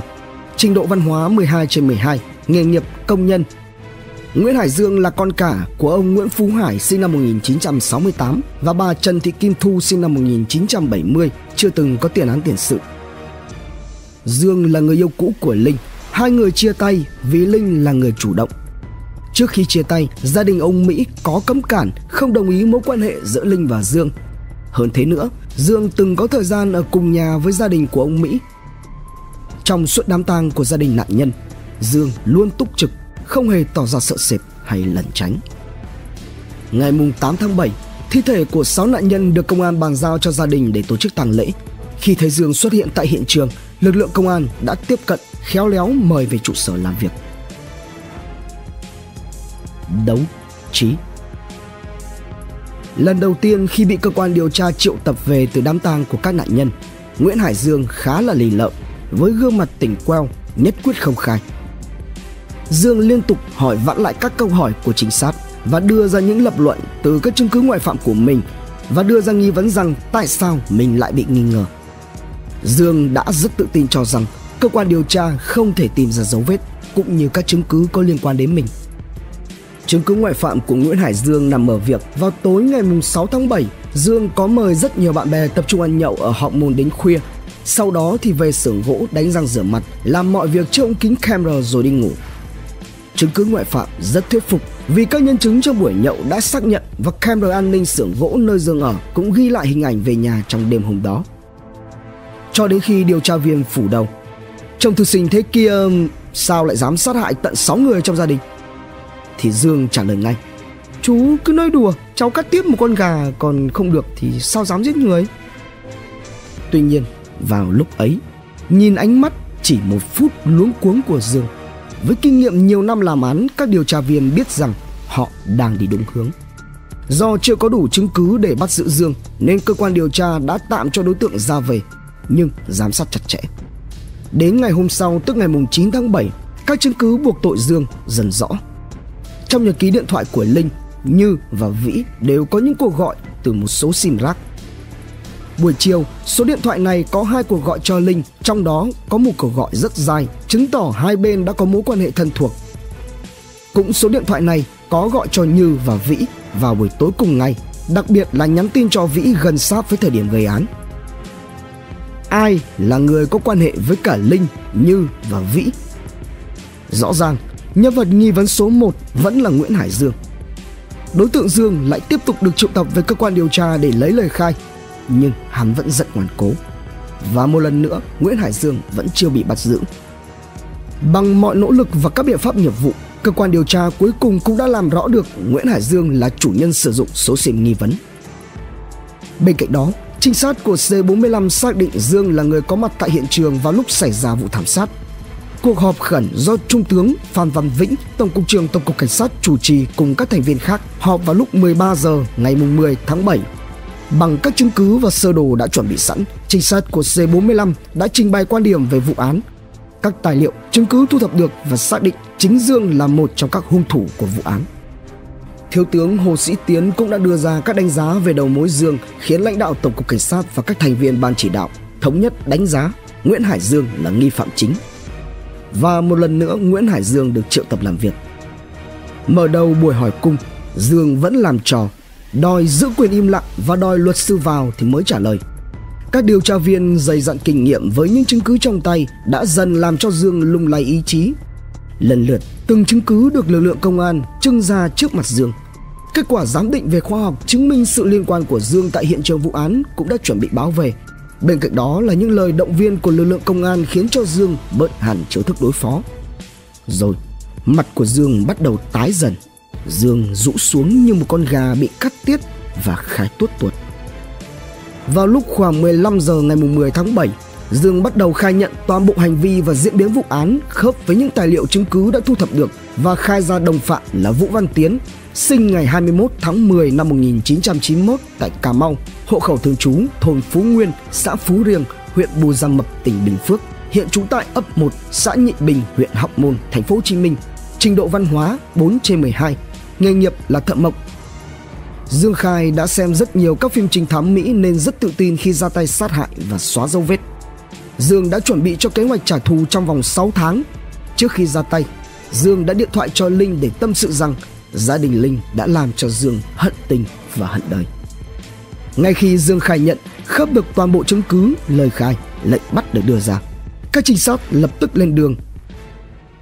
Đường vào nơi nhà trọ của gia đình Vũ Văn Tiến ngoan ngoeo nhão nhoẹt bùn đất sau cơn mưa chiều, nhưng cũng không cản được bước chân của công lý. 17 giờ ngày 10 tháng 7, ban chuyên án ập vào nhà trọ và bắt được nghi can Vũ Văn Tiến khi tên này đang chuẩn bị hành trang để chạy trốn. Quá trình khám xét đã thu giữ được gần như toàn bộ các tăng vật mà các đối tượng dùng để gây án, tài sản cướp được chưa kịp tiêu thụ hay giấu giếm. Sau khi bị bắt, Tiến biết không thể che giấu về hành vi nên ngay lập tức khai báo ngay tại phòng trọ toàn bộ quá trình bàn bạc lên kế hoạch và diễn biến vụ thảm sát gia đình ông Mỹ. Vào lúc 10 giờ ngày 11 tháng 7, các cán bộ của công an tỉnh Bình Phước đã thực hiện việc áp giải nghi can Vũ Văn Tiến lên xe di lý về công an tỉnh để phục vụ công tác điều tra. Tiếp nối phần 1, Nguyễn Hải Dương và Vũ Văn Tiến đã lộ diện và khai nhận. Tuy nhiên thực sự con số chỉ là hai. Quá trình thực hiện tội ác của chúng như thế nào? Sẽ phải đền tội ra sao? Hãy cùng Độc Thám TV đi sâu vào tìm hiểu vụ án này. Cuộc tắm máu Nguyễn Hải Dương sau khi học hết lớp 12 được cha đưa lên Sài Gòn để học nghề nhưng sau đó đã bỏ ngang vì không có tương lai. Một thời gian sau đó, Dương về làm thuê ở xưởng gỗ của người chú ruột tá túc ngay trong phòng bảo vệ cùng cha. Trong thời gian làm việc tại đây, vào năm 2013, Nguyễn Hải Dương đã có cơ hội làm quen được với Lê Thị Ánh Linh từ một lần đi sinh nhật. Biết hoàn cảnh của Dương nghèo khó, nhưng cô con gái đại gia ngành gỗ ở huyện Trơn Thành, Bình Phước vẫn hết mực yêu thương. Trong quá trình yêu nhau, Dương đã nhiều lần đưa Linh về thăm nhà, đồng thời cũng đã tính đến chuyện kết hôn. Tuy nhiên, giữa hai người lại thường xảy ra mâu thuẫn cãi vã. Rồi Dương được người yêu cho mượn gần 500 triệu để mua đất cao su ở Bình Phước với mục đích tạo điều kiện cho người chồng tương lai của cô có được sự nghiệp. Tới tháng 2 2015, trong lúc mẹ Linh yêu cầu con gái mình chấm dứt tình cảm với Dương thì Dương lại phát hiện ra Linh có bạn trai mới. Trước khi gây án 4 tháng là khoảng thời gian mà Dương bị Linh cự tuyệt tình yêu. Dương kể rằng anh ta yêu Linh một cách say đắm. Sau khi chia tay, Dương quen và yêu người khác nhưng vẫn cảm thấy sống không thể thiếu được Linh nên nhiều lần đã tìm cách nối lại tình xưa. Đến khi bị Linh cự tuyệt, Dương trở nên hận thù. Đặc biệt, mối hận thù ấy Dương dồn vào bà Nga vì Dương biết chính bà Nga là người đã ngăn cấm tình yêu của Dương với Linh, chê Dương nghèo và muốn gả Linh cho con của một đại gia khác. Trong khi đó, Linh thì nghe theo lời mẹ chia tay với Dương. Hắn đã nảy sinh ý định giết hại cả gia đình Linh để trả thù và cướp tài sản. Để chuẩn bị cho hành vi phạm tội, Nguyễn Hải Dương đã vạch ra một kế hoạch hết sức tỉ mỉ. Mua súng bắn bi với giá 6 triệu đồng, súng điện giá 2 triệu đồng, dao Thái Lan dài 30 cm, dao bấm lưỡi dài 7 cm. Mua sim rác để liên lạc, mua găng tay, khẩu trang bịt mặt, mượn xe máy của chị Trần Thị Trinh là dì của Dương, lấy 10 dây rút nhựa, băng keo dính để gây án. Trưa ngày 6 tháng 7, Dương có hẹn Tiến đi uống cà phê và rủ tham gia cướp tài sản của một gia đình giàu có ở huyện Trơn Thành, tỉnh Bình Phước. Khi Tiến nghe bạn mình nói Mày giúp tao chuyện này Tao hùn tiền mua gỗ cao su chừng 800 triệu đồng Nhưng người đó bán gỗ mà không chịu trả. Giờ Linh cướp lại. Thì Tiến khuyên Dương báo công an xử lý. Tuy nhiên thì Dương bịa ra rằng Hùn hạp mà không có giấy tờ thì làm sao công an can thiệp được? Cũng đang vào lúc túng tiền tiêu xài Tiến liền đồng ý tham gia. Do Nguyễn Hải Dương đã từng sống ở nhà Linh nên khá thân với chị em Như và Vĩ. Như thì thường phụ giúp các công việc trong nhà, còn Vĩ thì đặc biệt thích chơi game. Biết được họ muốn có tiền tiêu xài nên Dương đã liên lạc với chị em Như lên kế hoạch sẽ vào trộm tiền của bà Nga rồi đem chia nhau. Theo đó, Như có nhiệm vụ thông báo về thời điểm nhà ông Mỹ có tiền, camera an ninh không hoạt động. Thời gian mà người tài xế hay đến chở gỗ đi là lúc 3 đến 4 giờ sáng còn Vĩ thì sẽ mở cổng để Dương vào nhà lấy tài sản. Vào tối ngày 6 tháng 7, Dương đã nhiều lần gọi điện cho Vĩ để triển khai kế hoạch nhưng cậu bé không nghe máy. Gọi cho Như để hỏi lại tình hình nhưng cô gái cũng không nghe máy. Vào lúc này, Nguyễn Hải Dương đã thay đổi ý định hợp tác với chị em Như như trước đó. Theo đúng kế hoạch đã đặt ra, hơn 23 giờ tối ngày 6 tháng 7, Nguyễn Hải Dương về nhà sau khi nhậu tại Học Môn và đi qua đi lại trước camera ở xưởng gỗ. Khi đi ngủ, Dương leo lên giường tầng trên nằm, còn tầng dưới là bố Dương đang ngủ. Sau đó, Dương trổ nóc nhà và leo ra ngoài. Hắn không lấy xe của mình mà đi đến phòng của người quen lấy xe mượn trước chở Vũ Văn Tiến tới căn biệt thự nhà ông Mỹ. Trước đó, Dương cũng có mượn điện thoại của một người bạn gắn vào sim rác liên lạc với Vĩ lúc tới nơi. Khi hai người chở nhau từ Sài Gòn xuống Bình Phước thì Tiến mới được Dương nói kế hoạch gây án. Chút lên đó tao điện thằng nhỏ ra mở cổng. Tao mà có làm gì thằng nhỏ, nó la lên thì mày bịt miệng lại. Tao vào trong lấy tiền đi ra. Khoảng 1 giờ ngày 7 tháng 7 2015, Dương và Tiến đeo bao tay, đội mũ bảo hiểm và bịt khẩu trang đi xe máy đến cổng nhà ông Mỹ rồi nhắn tin cho Vĩ ra mở cổng với lời dụ dỗ cho 2 triệu đồng. Khi Vĩ ra đến nơi mở cửa thì Dương trói tay lại Vĩ lúc này kêu lên ba ơi liền bị Tiến dùng tay bịt miệng còn Dương thì bóp cổ. Chừng 2 phút sau cậu bé bất tỉnh. Khi này thì Tiến nói Giờ về đi, thằng nhỏ vẫn còn sống còn cứu được đấy. Dương chấn an Tao đã bàn với mày như vậy rồi Giờ sao mà về được Về là hư chuyện của tao hết Nói rồi Dương dùng dao đâm nhiều nhát Làm cháu Vĩ tử vong Sau khi thấy bạn mình dùng dao giết cậu bé Thì Tiến lại khuyên Thôi thôi thôi đi về về đi Thằng nhỏ chết không ai biết đâu Dương lại động viên đồng phạm Lỡ rồi Giờ đi vào nhà lấy tiền rồi về Chứ về là mai mốt không làm được đâu Dương đi trước vào bên hông của biệt thự nhưng thấy Tiến vẫn đứng ở phía chậu cây kiểng nơi Vĩ bị sát hại nên ngoắc tay ra hiệu kêu Tiến đi theo. Trao lên tới được tầng 2 thì Dương nói kế hoạch tiếp theo. Trong phòng có hai con nhỏ, một nằm trên giường, một dưới đất. Mày vô khống chế con nhỏ dưới đất, còn tao khống chế con nhỏ trên giường. Nghe Tiến bảo là không làm được và đòi đi về thì Dương lại thuyết phục. Giờ lỡ rồi, vô khống chế nó rồi lấy tiền đi về làm được mà. Hai đứa nó hiền lắm. Dương bảo mình sẽ khống chế Linh, còn Tiến sẽ làm y chang như vậy với Như. Khi vào phòng, Tiến lay nhưng Như vẫn ngủ nên không khống chế theo kế hoạch mà xua tay ra hiệu với Dương không làm được và xách ba lô ra ban công về. Dương đi theo năn nỉ thì Tiến nói với vẻ sợ hãi. Tao không làm được đâu mày ơi, tao còn cha còn mẹ nữa chứ. Thì Dương mới nói, tao cũng còn cha mẹ. Thôi lỡ rồi, vô làm đi, xuống lấy tiền rồi về. Chúng dùng súng khống chế rồi bắt trói Linh và Như Dùng băng keo bịt miệng hai người này rồi trói vào cửa sổ tách ra hai phòng Dù bị trói lên cửa sổ nhưng nạn nhân vẫn có thể dùng chân với được điện thoại rồi gọi cho anh Hưng Phát hiện sự việc khi anh Hưng gọi lại. Dương ép Như trả lời điện thoại với giọng bình thường, rồi sau đó khoa máy. Tiếp tục, Dương và Tiến mang theo hung khí xuống dưới tầng 1 vào trong phòng ngủ của vợ chồng ông Mỹ và hai đứa con nhỏ là Quốc Anh và bé Na. Lúc đầu, Dương hô lên, Cướp đây, Đưa tiền không tao bắn chết. Thấy Dương có súng thì ông Mỹ nói, Chúng mày muốn lấy gì thì lấy đi. Tiến vào chói ông Mỹ, bà Nga và tách Quốc Anh sang vào bên cạnh để tra hỏi về nơi cất giấu tiền. Còn Dương bịt mặt Quốc Anh, ra tay sát hại nạn nhân sau khi không tra hỏi được nơi giấu tiền. Trong khoảng thời gian này, anh Hưng gọi tới số bà Nga hỏi vì sao cháu như gọi điện nhưng Dương đã kịp khống chế bà Nga trả lời điện thoại theo ý mình. Lúc này, bà Nga và ông Mỹ đã nhận ra Dương, nói Dương lấy gì thì lấy rồi đi đi vì tài xế chở hàng sắp tới. Chúng đã buộc bà Nga phải gọi điện cho tài xế yêu cầu không tới nữa. Tiếp theo đó, Tiến và Dương buộc bà Nga mở kết sắt tin tiên nhưng không có. Chúng đã đưa bà Nga sang phòng phía bên cạnh để tra hỏi nơi cất giấu tiền nhưng không được nên đã dùng dao Thái Lan giết bà Nga với nhiều vết đầm nhất. Lúc này, nghe thấy tiếng động ở cửa, Dương chạy ra thì phát hiện ông Mỹ đã mở được dây chói, đang mở cửa phòng định chạy trốn.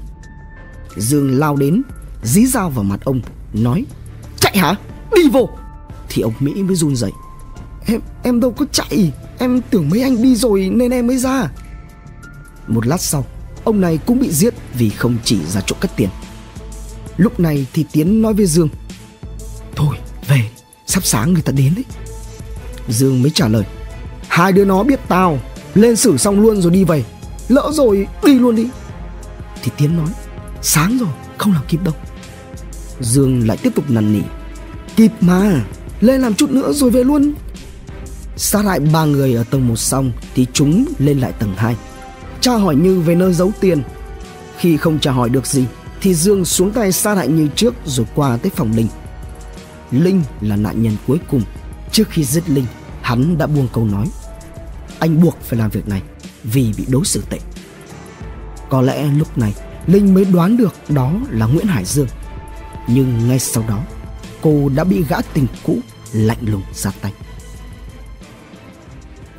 Trong toàn bộ quá trình gây án, Tiến tuy có ngăn cản Dương nhưng khi Dương nói lỡ rồi thì Tiến lại tiếp tục làm theo sự chỉ dẫn của Dương là trói và dùng dây siết cổ từng người.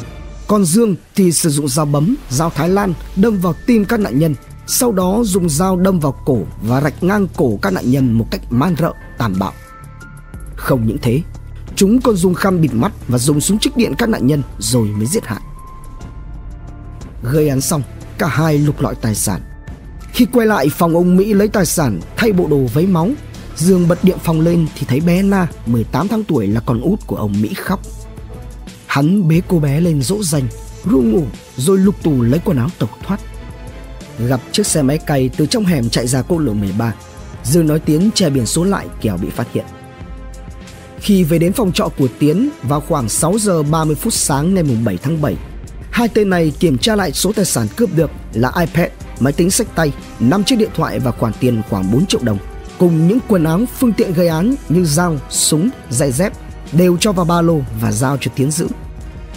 Hơn 7 giờ sáng ngày 7 tháng 7, Dương mở Facebook thì nhận được tin nhắn của người giúp việc cho nhà ông Mỹ báo là cả nhà đã bị sát hại. Dương mới lấy xe máy tới hiện trường vào lúc hơn 11 giờ 30. Khi này thì Tiến đem ba lô ra bờ sông Sài Gòn thuộc xã Nhị Bình cất giấu. Trong những ngày tiếp theo, Dương quay lại hiện trường nhiều lần và luôn tỏ ra đau khổ, khóc lóc trước người thân của gia đình nạn nhân nên không ai nghi ngờ gì. Nghi can thứ ba Sau một tháng tiếp tục điều tra đấu tranh với tội phạm, vào ngày 10 tháng 8, lực lượng chức năng bắt được nghi can thứ ba của vụ án là Trần Đình Thoại, sinh ngày 23 tháng 5 năm 1988, hộ khẩu thường trú ấp Tường Hưng, xã Thới Hòa, huyện Trà Ôn, tỉnh Vĩnh Long. Chỗ ở số 13 đường Phạm Văn Đồng, phường 3, quận Gò Vấp, thành phố Hồ Chí Minh. Trình độ văn hóa 9 trên 12. Nghề nghiệp đầu bếp là con thứ hai trong gia đình ba con của ông Trần Hữu Hiếu đã mất và bà Dương Thị Kim Liên sinh năm 1962. Thoại khi học hết lớp 9 thì có lên thành phố Hồ Chí Minh học nghề điện lạnh, nhưng sau khi ra trường, nam thanh niên này không làm đúng nghề nghiệp mà lại phụ nấu quán ăn cho một người chị họ ở Sài Gòn. 3 tháng trước, trong một lần đi uống cà phê với người em, Thoại gặp Nguyễn Hải Dương rồi trở nên thân thiết.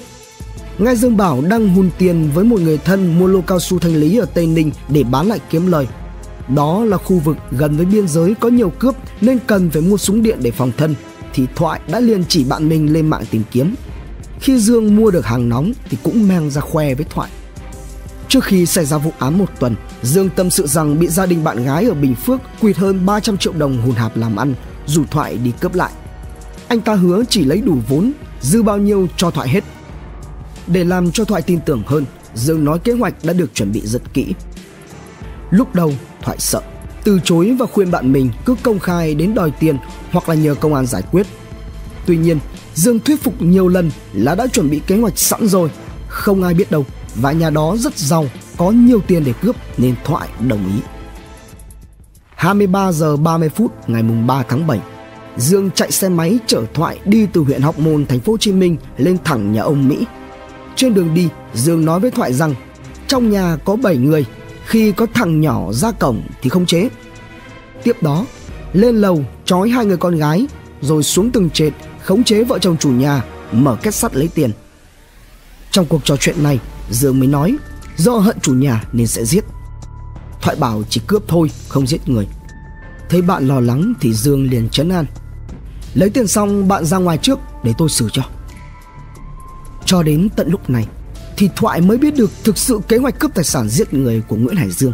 Nhưng lỡ đã đi chung xe rồi nên đành ngồi im. Sau hơn 2 giờ, cả hai đã đến trước cổng biệt thự của nhà ông Mỹ. Thấy không có ai ra mở cửa, Thoại hối thúc Dương, nhưng Dương lại không đồng ý. Hơn một giờ chờ đợi không có kết quả thì Nguyễn Hải Dương mới chịu lên xe về lại thành phố Hồ Chí Minh. Cả hai bàn nhau ngày hôm sau tiếp tục đến nhà ông Mỹ để gây án. Trên đường về, Thoại bàn với Dương là Thoại sẽ mua thêm một con dao Thái Lan để ngày mai đi tiếp thì Dương đồng ý. Đến tối ngày mùng 5 tháng 7 2015, Thoại đã mua một con dao Thái Lan đưa cho Dương cùng với ba lô, nhưng sau đó nói là bà ngoại bệnh nên không đi với Dương nữa. Khi này, Dương lấy điện thoại của Thoại nhắn tin cho Vĩ hẹn cậu bé này xuống mở cổng cả biệt thự. Đây cũng chính là điểm mấu chốt để bắt giữ Thoại. Thuyết phục Thoại không được, Dương đã chuyển sang rủ Tiến để thực hiện âm mưu của mình. Ngoài ra, trước khi thực hiện vụ thảm sát, Dương đã rủ người gì của mình là Trần Thị Trinh, 31 tuổi, cùng đến nhà ông Mỹ để thăm dò Vĩ ra ngoài có bị ai phát hiện hay không. Dương đã nói gì của mình là đến nhà bạn lấy đồ đúng với khung thời gian mà hắn sẽ đi cùng Thoại và Tiến. Cả hai lần cùng đồng phạm đến các biệt thự nhà ông Mỹ, Dương đều mượn xe máy của dì mình.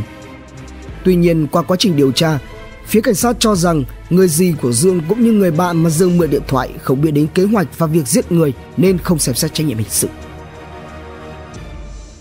Đền tội Sáng ngày 17 tháng 12 năm 2015, Tòa Nhân dân tỉnh Bình Phước đã đưa Nguyễn Hải Dương, Vũ Văn Tiến, Trần Đình Thoại ra xử lưu động ở bãi đất trống 4 hecta ở trung tâm hành chính huyện Trơn Thành. Ba bị cáo bị truy tố tội giết người, cướp tài sản khi đã giết tới 6 người trong gia đình ông Lê Văn Mỹ hồi tháng 7. Hơn 300 cảnh sát được huy động để bảo vệ phiên tòa. Tại phiên xét xử sơ thẩm này, tòa tuyên án Nguyễn Hải Dương tử hình về tội giết người và 8 năm tù về tội cướp tài sản. Tổng hợp hình phạt chung của cả hai tội danh là tử hình. Vũ Văn Tiến tử hình về tội giết người và 7 năm tù về tội cướp tài sản. Tổng hợp hình phạt chung của cả hai tội danh là tử hình. Trần Đình Thoại 13 năm tù về tội giết người và 3 năm tù về tội cướp tài sản. Tổng hợp hình phạt chung của cả hai tội danh là 16 năm tù. Tuy nhiên, sau đó liên tục là các kháng cáo của đồng phạm và gia đình nạn nhân. Sau nhiều lần tạm hoãn, Tòa nhân dân cấp cao tại thành phố Hồ Chí Minh quyết định ngày 18 và 19 tháng 7 năm 2016 xử phúc thẩm vụ án. Hội đồng xét xử sẽ xem xét đơn xin giảm nhẹ án tử hình của Vũ Văn Tiến, án 16 năm tù của Trần Đình Thoại đều là đồng phạm với chủ mưu Nguyễn Hải Dương. Tuy nhiên, vào chiều ngày 18 tháng 7, sau một ngày xét xử, Tòa nhân dân cấp cao tại thành phố Hồ Chí Minh bác toàn bộ đơn kháng cáo giữ nguyên án tử hình đối với Vũ Văn Tiến, 16 năm tù đối với Thoại về các tội danh giết người và cướp tài sản. Ngày 17 tháng 11 năm 2017, tử tù Nguyễn Hải Dương bị thi hành án tử hình bằng hình thức tiêm thuốc độc tại Bình Dương. Về phần Vũ Văn Tiến, sau 2 ngày xét xử phúc thẩm, vào ngày 21 tháng 7 năm 2016, trại giam công an tỉnh Bình Phước tiếp nhận lá đơn gửi lên Chủ tịch nước Trần Đại Quang xin ân xá giảm án tử hình của Vũ Văn Tiến, nhưng nhận lại là quyết định bác đơn xin ân xá giảm án tử hình của Chủ tịch nước. Vào sáng ngày 20 tháng 9 năm 2018, tử tù Vũ Văn Tiến bị thi hành án tử hình bằng hình thức tiêm thuốc độc tại Bình Dương. Nguồn tham khảo và tổng hợp Bản án hình sự sơ thẩm 45 sượt 2015 sượt HSST ngày 17 tháng 12 2015 về Nguyễn Hải Dương, Vũ Văn Tiến, Trần Đình Thoại về tội giết người trong vụ thảm sát 6 người ở Bình Phước. Công an Nhân dân, Sài Gòn Giải Phóng, Đời sống và pháp luật, VOV, Tuổi trẻ, Kiểm soát online, VN Express cùng nhiều nguồn khác. Độc Thám TV Một chuyện tình kết thúc vô cùng đau đớn, cùng với những mất mát vĩnh viễn không bao giờ lấy lại được. Một gã bạn trai tán tận lương tâm, không còn từ ngữ nào có thể đặc tả. Một ví dụ điển hình về sự khốn nạn của những kẻ bán mình cho quỷ dữ. Một đối tượng mới chỉ được trở về xã hội sau bản án tù dài đằng đẵng có một tháng trời lại tiếp tục gây án nhưng lần này sẽ chẳng còn cơ hội làm lại nào cho hắn cả. Hãy cùng Độc Thám TV đi sâu vào tìm hiểu vụ án này. Cứu hỏa Vào những ngày đầu năm 2015, thời điểm đang là mùa khô ở khu vực miền Nam rất dễ xảy ra hỏa hoạn. Quả nhiên là không sai. Chiều ngày 3 tháng 1 năm 2015, một đám cháy phát sinh trên bãi cỏ diện tích khoảng 1.000 mét vuông chẳng mấy chốc mà bốc lên tại khu vực Nghĩa Trang thuộc khu phố 8, phường Tương Bình Hiệp, thành phố Thủ Dầu Một, tỉnh Bình Dương. Khu này có cây um tùm, không có người chăm sóc. Gần đó lại là rừng tràm và có một số nhà dân xung quanh. Ngay khi nhận được tin báo về vụ cháy, cảnh sát phòng cháy chữa cháy thành phố Thủ Dầu Một đã điều động hai xe chữa cháy cùng với 15 chiến sĩ đến hiện trường tham gia dập lửa. Sau 15 phút chữa cháy, ngọn lửa bị dập tắt hoàn toàn. Tuy nhiên, ám vào không khí, ngoài khói ra thì còn có một mùi gì đó hết sức khó chịu. Lần theo, những người tham gia chữa cháy phát hiện một thứ kỳ lạ bên dưới một huyệt mộ đã cải táng. Đó là một khối cong queo, cháy đen và than phủ khắp. Tò mò họ mới dùng cây khều phủi cho than ra thì hết sức kinh hoàng ập vào mắt là một con người. Vụ việc nhanh chóng được báo cho cơ quan chức năng. Nhận tin báo công an thành phố thủ dầu một đã kết hợp với phòng cảnh sát điều tra tội phạm về trật tự xã hội phòng kỹ thuật hình sự khẩn trương, có mặt để khám nghiệm hiện trường và người xấu số.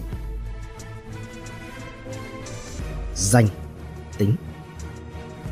Qua công tác khám nghiệm, bước đầu đi đến kết luận, người xấu số là nữ đang trong giai đoạn phân hủy, chưa rõ lai lịch. Phía trên lưng, mảng da tuy bị cháy nhưng vẫn còn để lại và hiện rõ hình xăm một con bướm, đồng thời phát hiện một bên tai có sâu ba lỗ đeo khuyên tuy nhiên, không phát hiện khuyên tai trên cơ thể cũng như tại hiện trường Điểm đặc biệt ở đây là trên cơ thể của người nữ này có tới 15 vết, chiều hướng bị đâm vào bằng vật sắc nhọn. Đây cũng chính là nguyên nhân qua đời của nạn nhân. Xác định đây là một vụ án đặc biệt nghiêm trọng. Lãnh đạo công an thành phố Thủ Dầu Một chỉ đạo đội cảnh sát hình sự phối hợp cùng các địa phương nhanh chóng truy tìm danh tính nạn nhân. Sau đó tiến hành rà soát các mối quan hệ của nạn nhân để thu thập thêm tài liệu chứng cứ phục vụ cho công tác điều tra. Với câu hỏi quan trọng trước mắt cần phải giải quyết, đó là danh tính nạn nhân. Cơ quan điều tra đã phát đi thông báo tìm nhân thân người mất tích. Chỉ vài giờ đồng hồ sau khi thông báo được phát đi, đã có rất nhiều người đến trình báo thân nhân của mình mất tích. Thế nhưng, qua mô tả lại đều không giống với nạn nhân được phát hiện.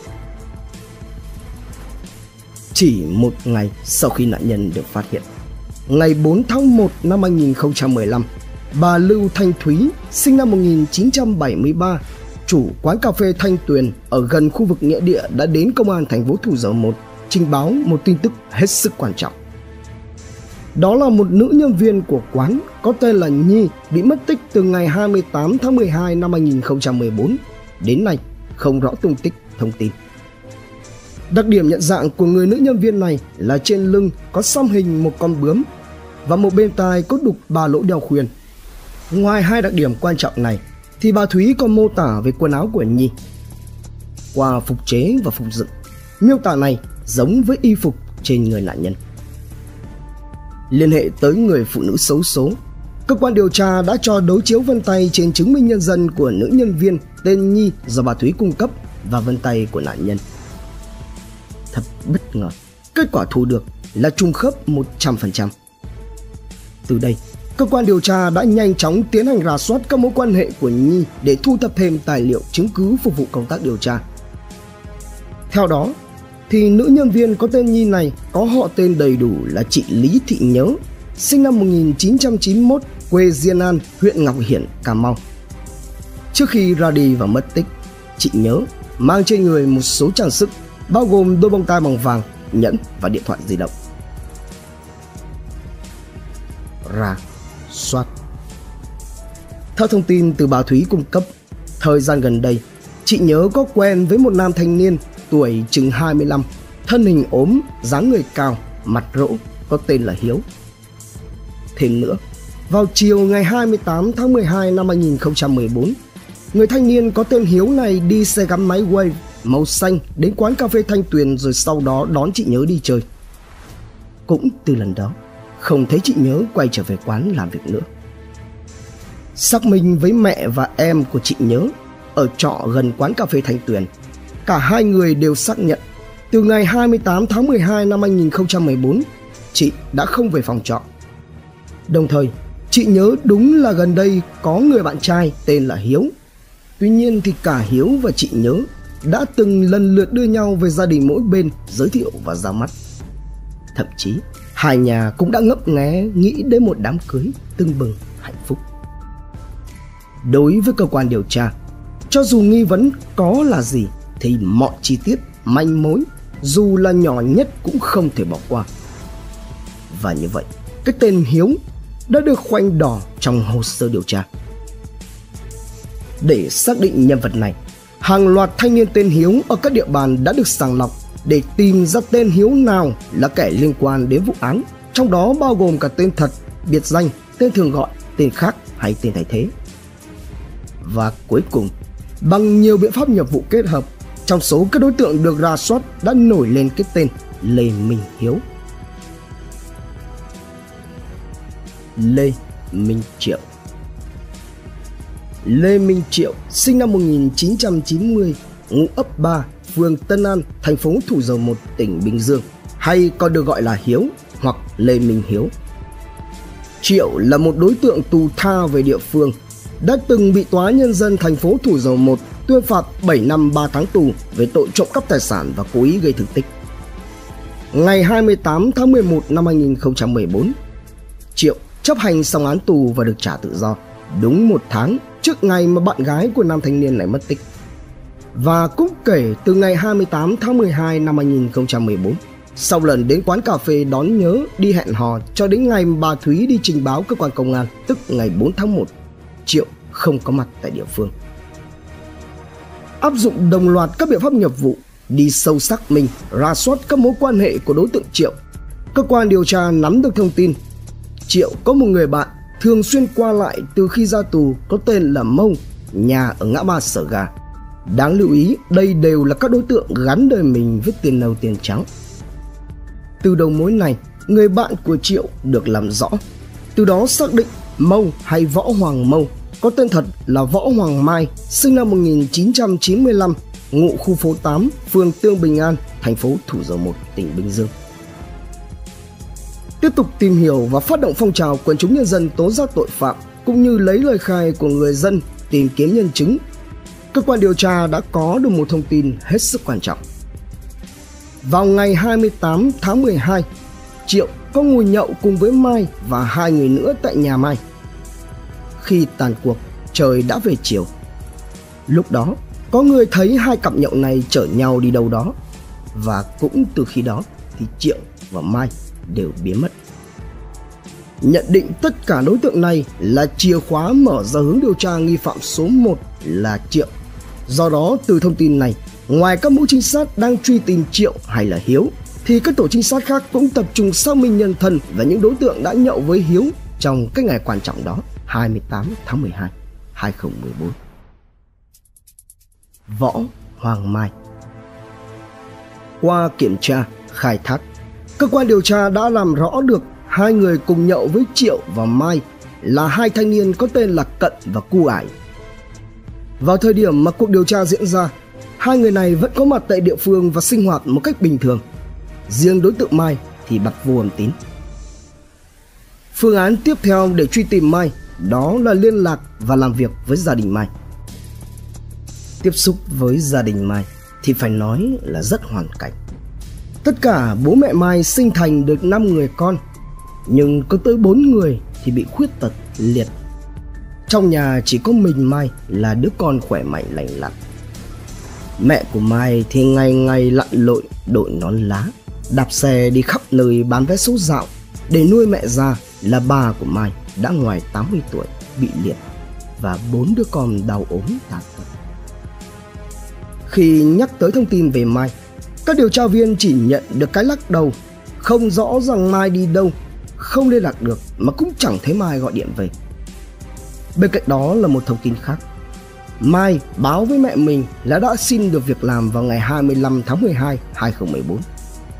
Không chịu bó tay, cơ quan điều tra lại tiếp tục kiên nhẫn truy dấu Mai đến tận cùng thì nắm thêm được thông tin là Mai có người bạn làm việc cho công ty an ninh Phú Cường. Ngay lập tức, công ty an ninh Phú Cường được các điều tra viên liên hệ và tìm đến. Đây vốn là một công ty vệ sĩ có rất đông nhân viên, hoạt động chia làm các tổ trực ở nhiều địa điểm khác nhau. Bên cạnh đó, có nơi người bảo vệ còn được bố trí ăn ở tại chỗ để tiện cho công việc. Từ đó dẫn đến việc xác định tìm kiếm một người nhân viên là bạn của Mông, tức Mai, gặp rất nhiều khó khăn.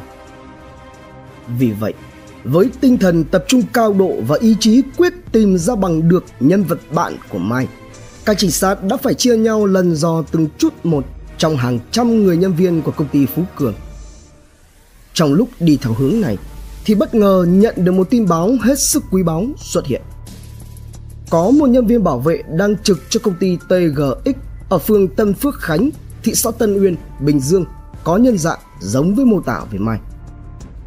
Ngay lập tức, các trinh sát tức tốc xác mình về đối tượng này. Tuy nhiên thì thông qua hồ sơ nhân viên bảo vệ, kết quả lại hiện lên là một cái tên lạ hoắc. Trương Công Tuấn. Vừa theo dõi sát sao di biến động của Tuấn, thu thập tập hợp tài liệu chứng cứ, lại vừa bí mật cho những người có quen biết với Mai nhận diện Trương Công Tuấn. Tất cả đều khẳng định và có chung một đáp án. Trương Công Tuấn chính là Võ Hoàng Mai. Vấn Từ chiều ngày 28 tháng 12 năm 2014 đến hết ngày 4 tháng 1 năm 2015, cho dù đã hơn một tuần lễ và nơi làm bảo vệ chỉ cách nhà không quá 5 km chạy xe máy, nhưng Mai cũng không chịu về nhà. Đêm ngày 5 tháng 1 2015, ngay khi kết thúc ca trực bảo vệ, các trinh sát đã ngay lập tức có mặt và mời Mai về trụ sở công an phường Tân Phước Khánh làm việc. Tại cơ quan công an, cuộc thẩm vấn Mai mới đầu chỉ xoay quanh các vấn đề như quan hệ giữa Mai với Triệu là như thế nào. Mấy ngày nay, Triệu đi đâu? Tại sao Mai phải đổi tên thành Trương Công Tuấn khi đi làm ở công ty bảo vệ? Có mặt trong buổi thẩm vấn là đại úy Nguyễn Công Khanh, đội cảnh sát điều tra công an thành phố Thủ Dầu Một. Tuy nhiên, với màn dạo đầu như vậy, Mai vẫn lầm ly ngồi mà không trả lời và cùng lắm là Mai chỉ nhúc nhắc lắc gật. Đến đây, nhận thấy cần phải thay đổi không khí và tạo đột phá. Một trinh sát liền tung ra đòn phủ đầu. Mấy ngày nay anh liên lạc rất nhiều với một người được lưu trong máy điện thoại là anh Hiếu. Anh Hiếu này là ai? Không ngoài dự tính.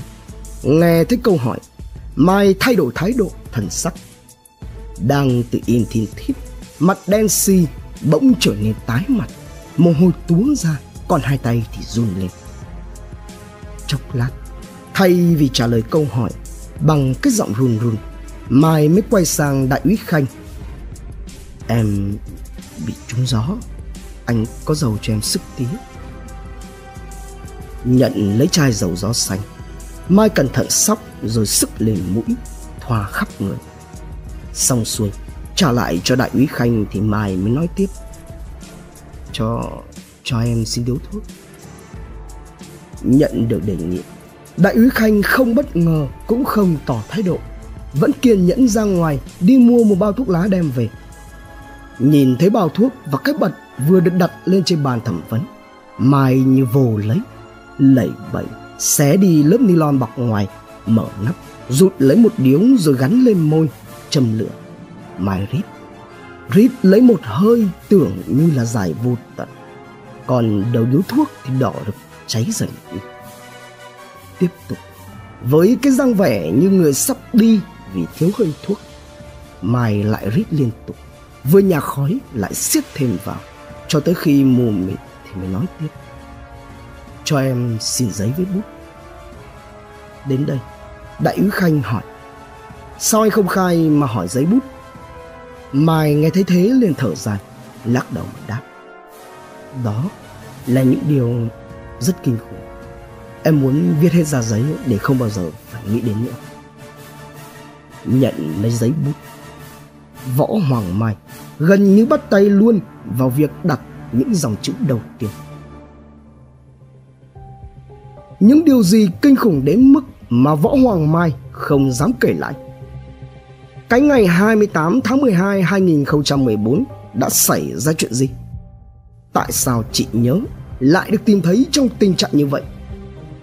Liệu Mai sẽ cung cấp được thông tin gì để truy tìm được Lê Minh Triệu? Ai là kẻ phạm tội? Bản án được tuyên như thế nào? Đón xem phần 2 tại Độc Thám TV. tâm, thần một buổi sáng nọ. Vào những ngày đầu năm 2015 tại một bến xe nọ thuộc tỉnh Kiên Giang, bỗng xuất hiện một nam thanh niên có dáng người cao, thân hình ốm gầy, có khuôn mặt thì rỗ lỗ chỗ. Ngồi lì một chỗ, trông gã có vẻ nôn nao, bần thần và đốt thuốc lá liên tục như một cái nhà máy công nghiệp vậy. Chẳng biết vô tình hay hữu ý, Vị trí mà gã đang ngồi lại là nơi có nhiều người đợi xe. Trong cái cơn rảnh rỗi, họ mới truyền tai kể cho nhau nghe về một vụ án mới xảy ra ở Bình Dương, hết sức khủng khiếp và quá đỗi kinh hoàng. lanh lảnh ở bên tai. Tất nhiên, dù chẳng muốn nghe thì cũng lọt tới. Gã mặt rỗ chăm chú và càng lúc lại càng căng thẳng. Bỗng dừng, ngoắt cái. Gã quay sang nói với người phụ nữ ngồi bên cạnh rằng Tôi là kẻ đã làm chuyện đó. Xin hãy báo bảo vệ bến xe đến bắt tôi ngay đi. Chẳng thể nào tin vào được vào tai và mắt của mình. Người phụ nữ nhìn gã thanh niên lạ mặt với điệu bộ kinh ngạc rồi lắc đầu. Cậu nói dỡn kiểu đó xui lắm. Vừa mới dứt câu thì chị ta cũng đứng dậy bỏ đi. Thấy vậy, gã thanh niên kỳ quặc ấy ngồi lại đôi chút rồi đứng bật dậy, đi bộ thẳng đến nhóm bảo vệ bến xe, chỉ thẳng vào mặt mình mà nói rằng Tôi là kẻ đã làm chuyện đó, xin hãy bắt tôi giao cho công an. Thấy quái lạ, mấy anh bảo vệ mới thi nhau xua đuổi. Tìm chỗ khác mà dỡ đi mày, mới sáng gặp thằng khùng. Căng thẳng tột độ, đến mức nổ tung cả trí óc. Gã muốn mình bị bắt, bị bắt ngay lập tức để tự giải tỏa cái áp lực tâm lý tưởng chừng nặng nề đến cả tấn đó. Năn nỉ tổ bảo vệ bến xe bắt mình không thành, gã mới đổi cách khác. Mò ra, đứng giữa bến xe rồi hô to lên, nhai đi nhai lại cái điệp khúc, hãy bắt tôi đi. Xong, trước cảnh tượng ấy, mọi người qua lại như mắc cười cũng chỉ phi cười vì đoàn chắc gã này bị tâm thần không hơn. Sau ba ngày không ăn gì, chỉ uống nước cầm hơi và hút thuốc. Nhìn gã thanh niên giữa bến xe lại càng trông giống một người tâm thần tợn. Nói nhảm liên hồi nên ai cũng né xa xua đuổi. Buồn bã, thất vọng, chẳng có ai tin và đến bắt cả. Gã đành rời khỏi bến xe, di chuyển đến nhà người quen và xin ngủ nhờ một đêm. Sáng hôm sau, người ta thấy gã đón xe từ Kiên Giang đi Bình Dương. Từ lúc xuống xe, chẳng ai còn hay tin về gã tâm thần này nữa. Đầu thú Vào cái đêm thẩm vấn tại cơ quan công an, Võ Hoàng Mai xin lấy giấy bút và viết như chưa thể được viết bao giờ. Toàn bộ diễn biến cũng như danh tính của kẻ gây ra vụ án đã hiện lên một cách không thể rõ ràng hơn và trong đó Mai chính là đồng phạm gây ra vụ án thương tâm xảy ra với chị Lý Thị Nhớ. Sau đêm ấy, đại úy Khanh mới bấm số gọi một cuộc điện thoại. Đầu dây bên kia bắt máy, đại úy Khanh nói: "Tôi là đại úy Nguyễn Công Khanh của cơ quan cảnh sát điều tra công an thành phố Thủ Dầu Một. Đồng phạm của anh đã khai tất cả, anh nên sớm ra đầu thú để được hưởng sự khoan hồng của pháp luật." Người nhận cuộc điện thoại của đại úy Khanh không ai khác, chính là Lê Minh Triệu. Đang sẵn bị ám ảnh bởi tội lỗi của chính mình đã gây ra. Triệu lại càng thêm dày vò từ khi nghe thấy cuộc điện thoại động viên ra đầu thú của đại úy Khanh. Sau nhiều ngày mất ngủ, lo sợ, căng thẳng, Triệu đã đưa ra quyết định của mình. Ngày 6 tháng 1 năm 2015, Đại úy Khanh bất ngờ nhận được cuộc gọi mà trong đời làm điều tra viên ai cũng chờ đợi tất thảy. Ở phía đầu dây bên kia vang lên là giọng nói rụt rè của Triệu.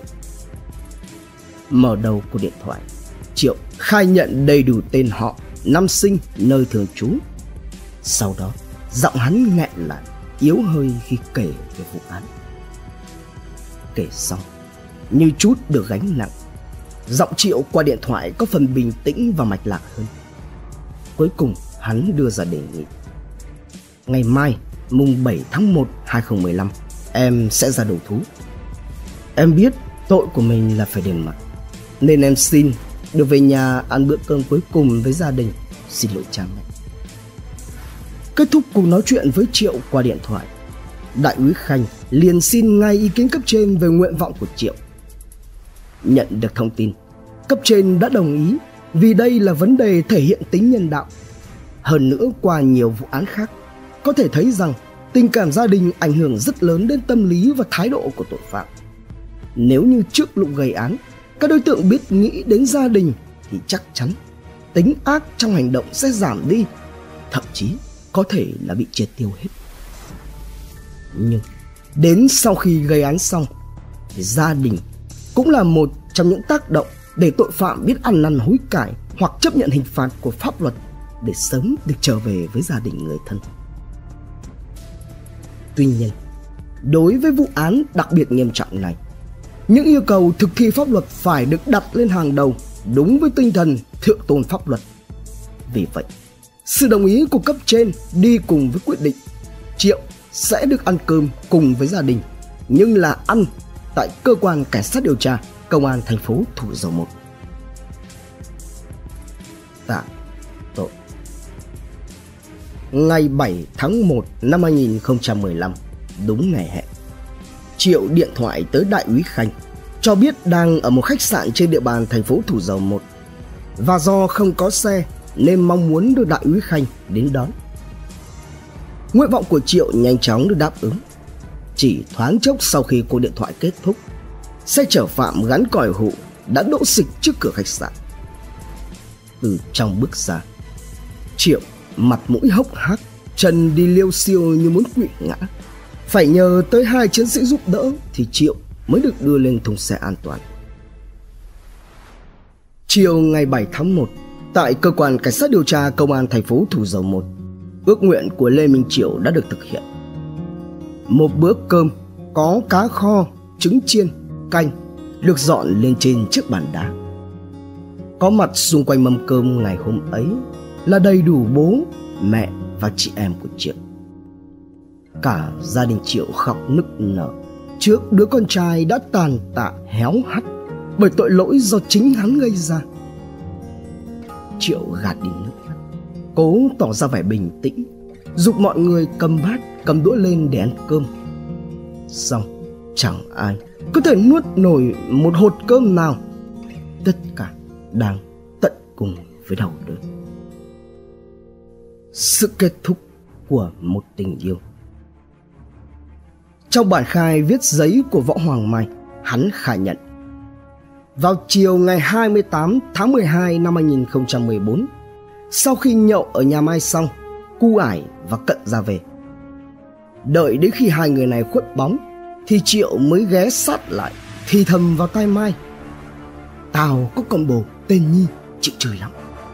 Giờ mình điện thoại rủ nó đi chơi, xong đưa vào chỗ vắng, dọa cho nó sợ bắt nó đưa tiền để tao với mày đi mua về phê mai khi ấy đang ngục lặng trong cơn đói lại không biết kiếm đâu ra để phê thì bỗng được đàn anh nêu kế hoạch như vậy vã lắm gật đầu lấy cái rụng tất cả cũng chỉ để thỏa mãn con thú ở bên trong người hắn nhắc tới là làm triệu liền ra ngoài lấy xe gắn máy wave màu xanh đi thẳng đến quán cà phê thanh tuyền nơi chị nhớ đang làm rồi sau đó chở chị nhớ về lại nhà Mai.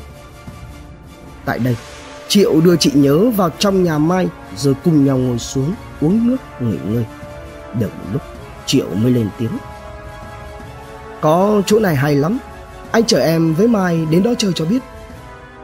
Nghe thế vậy, chị nhớ mới hỏi lại. Chỗ nào? Chơi cái gì? Thì Triệu liền đáp. Đến đó mới biết, giờ mới chứ mất linh.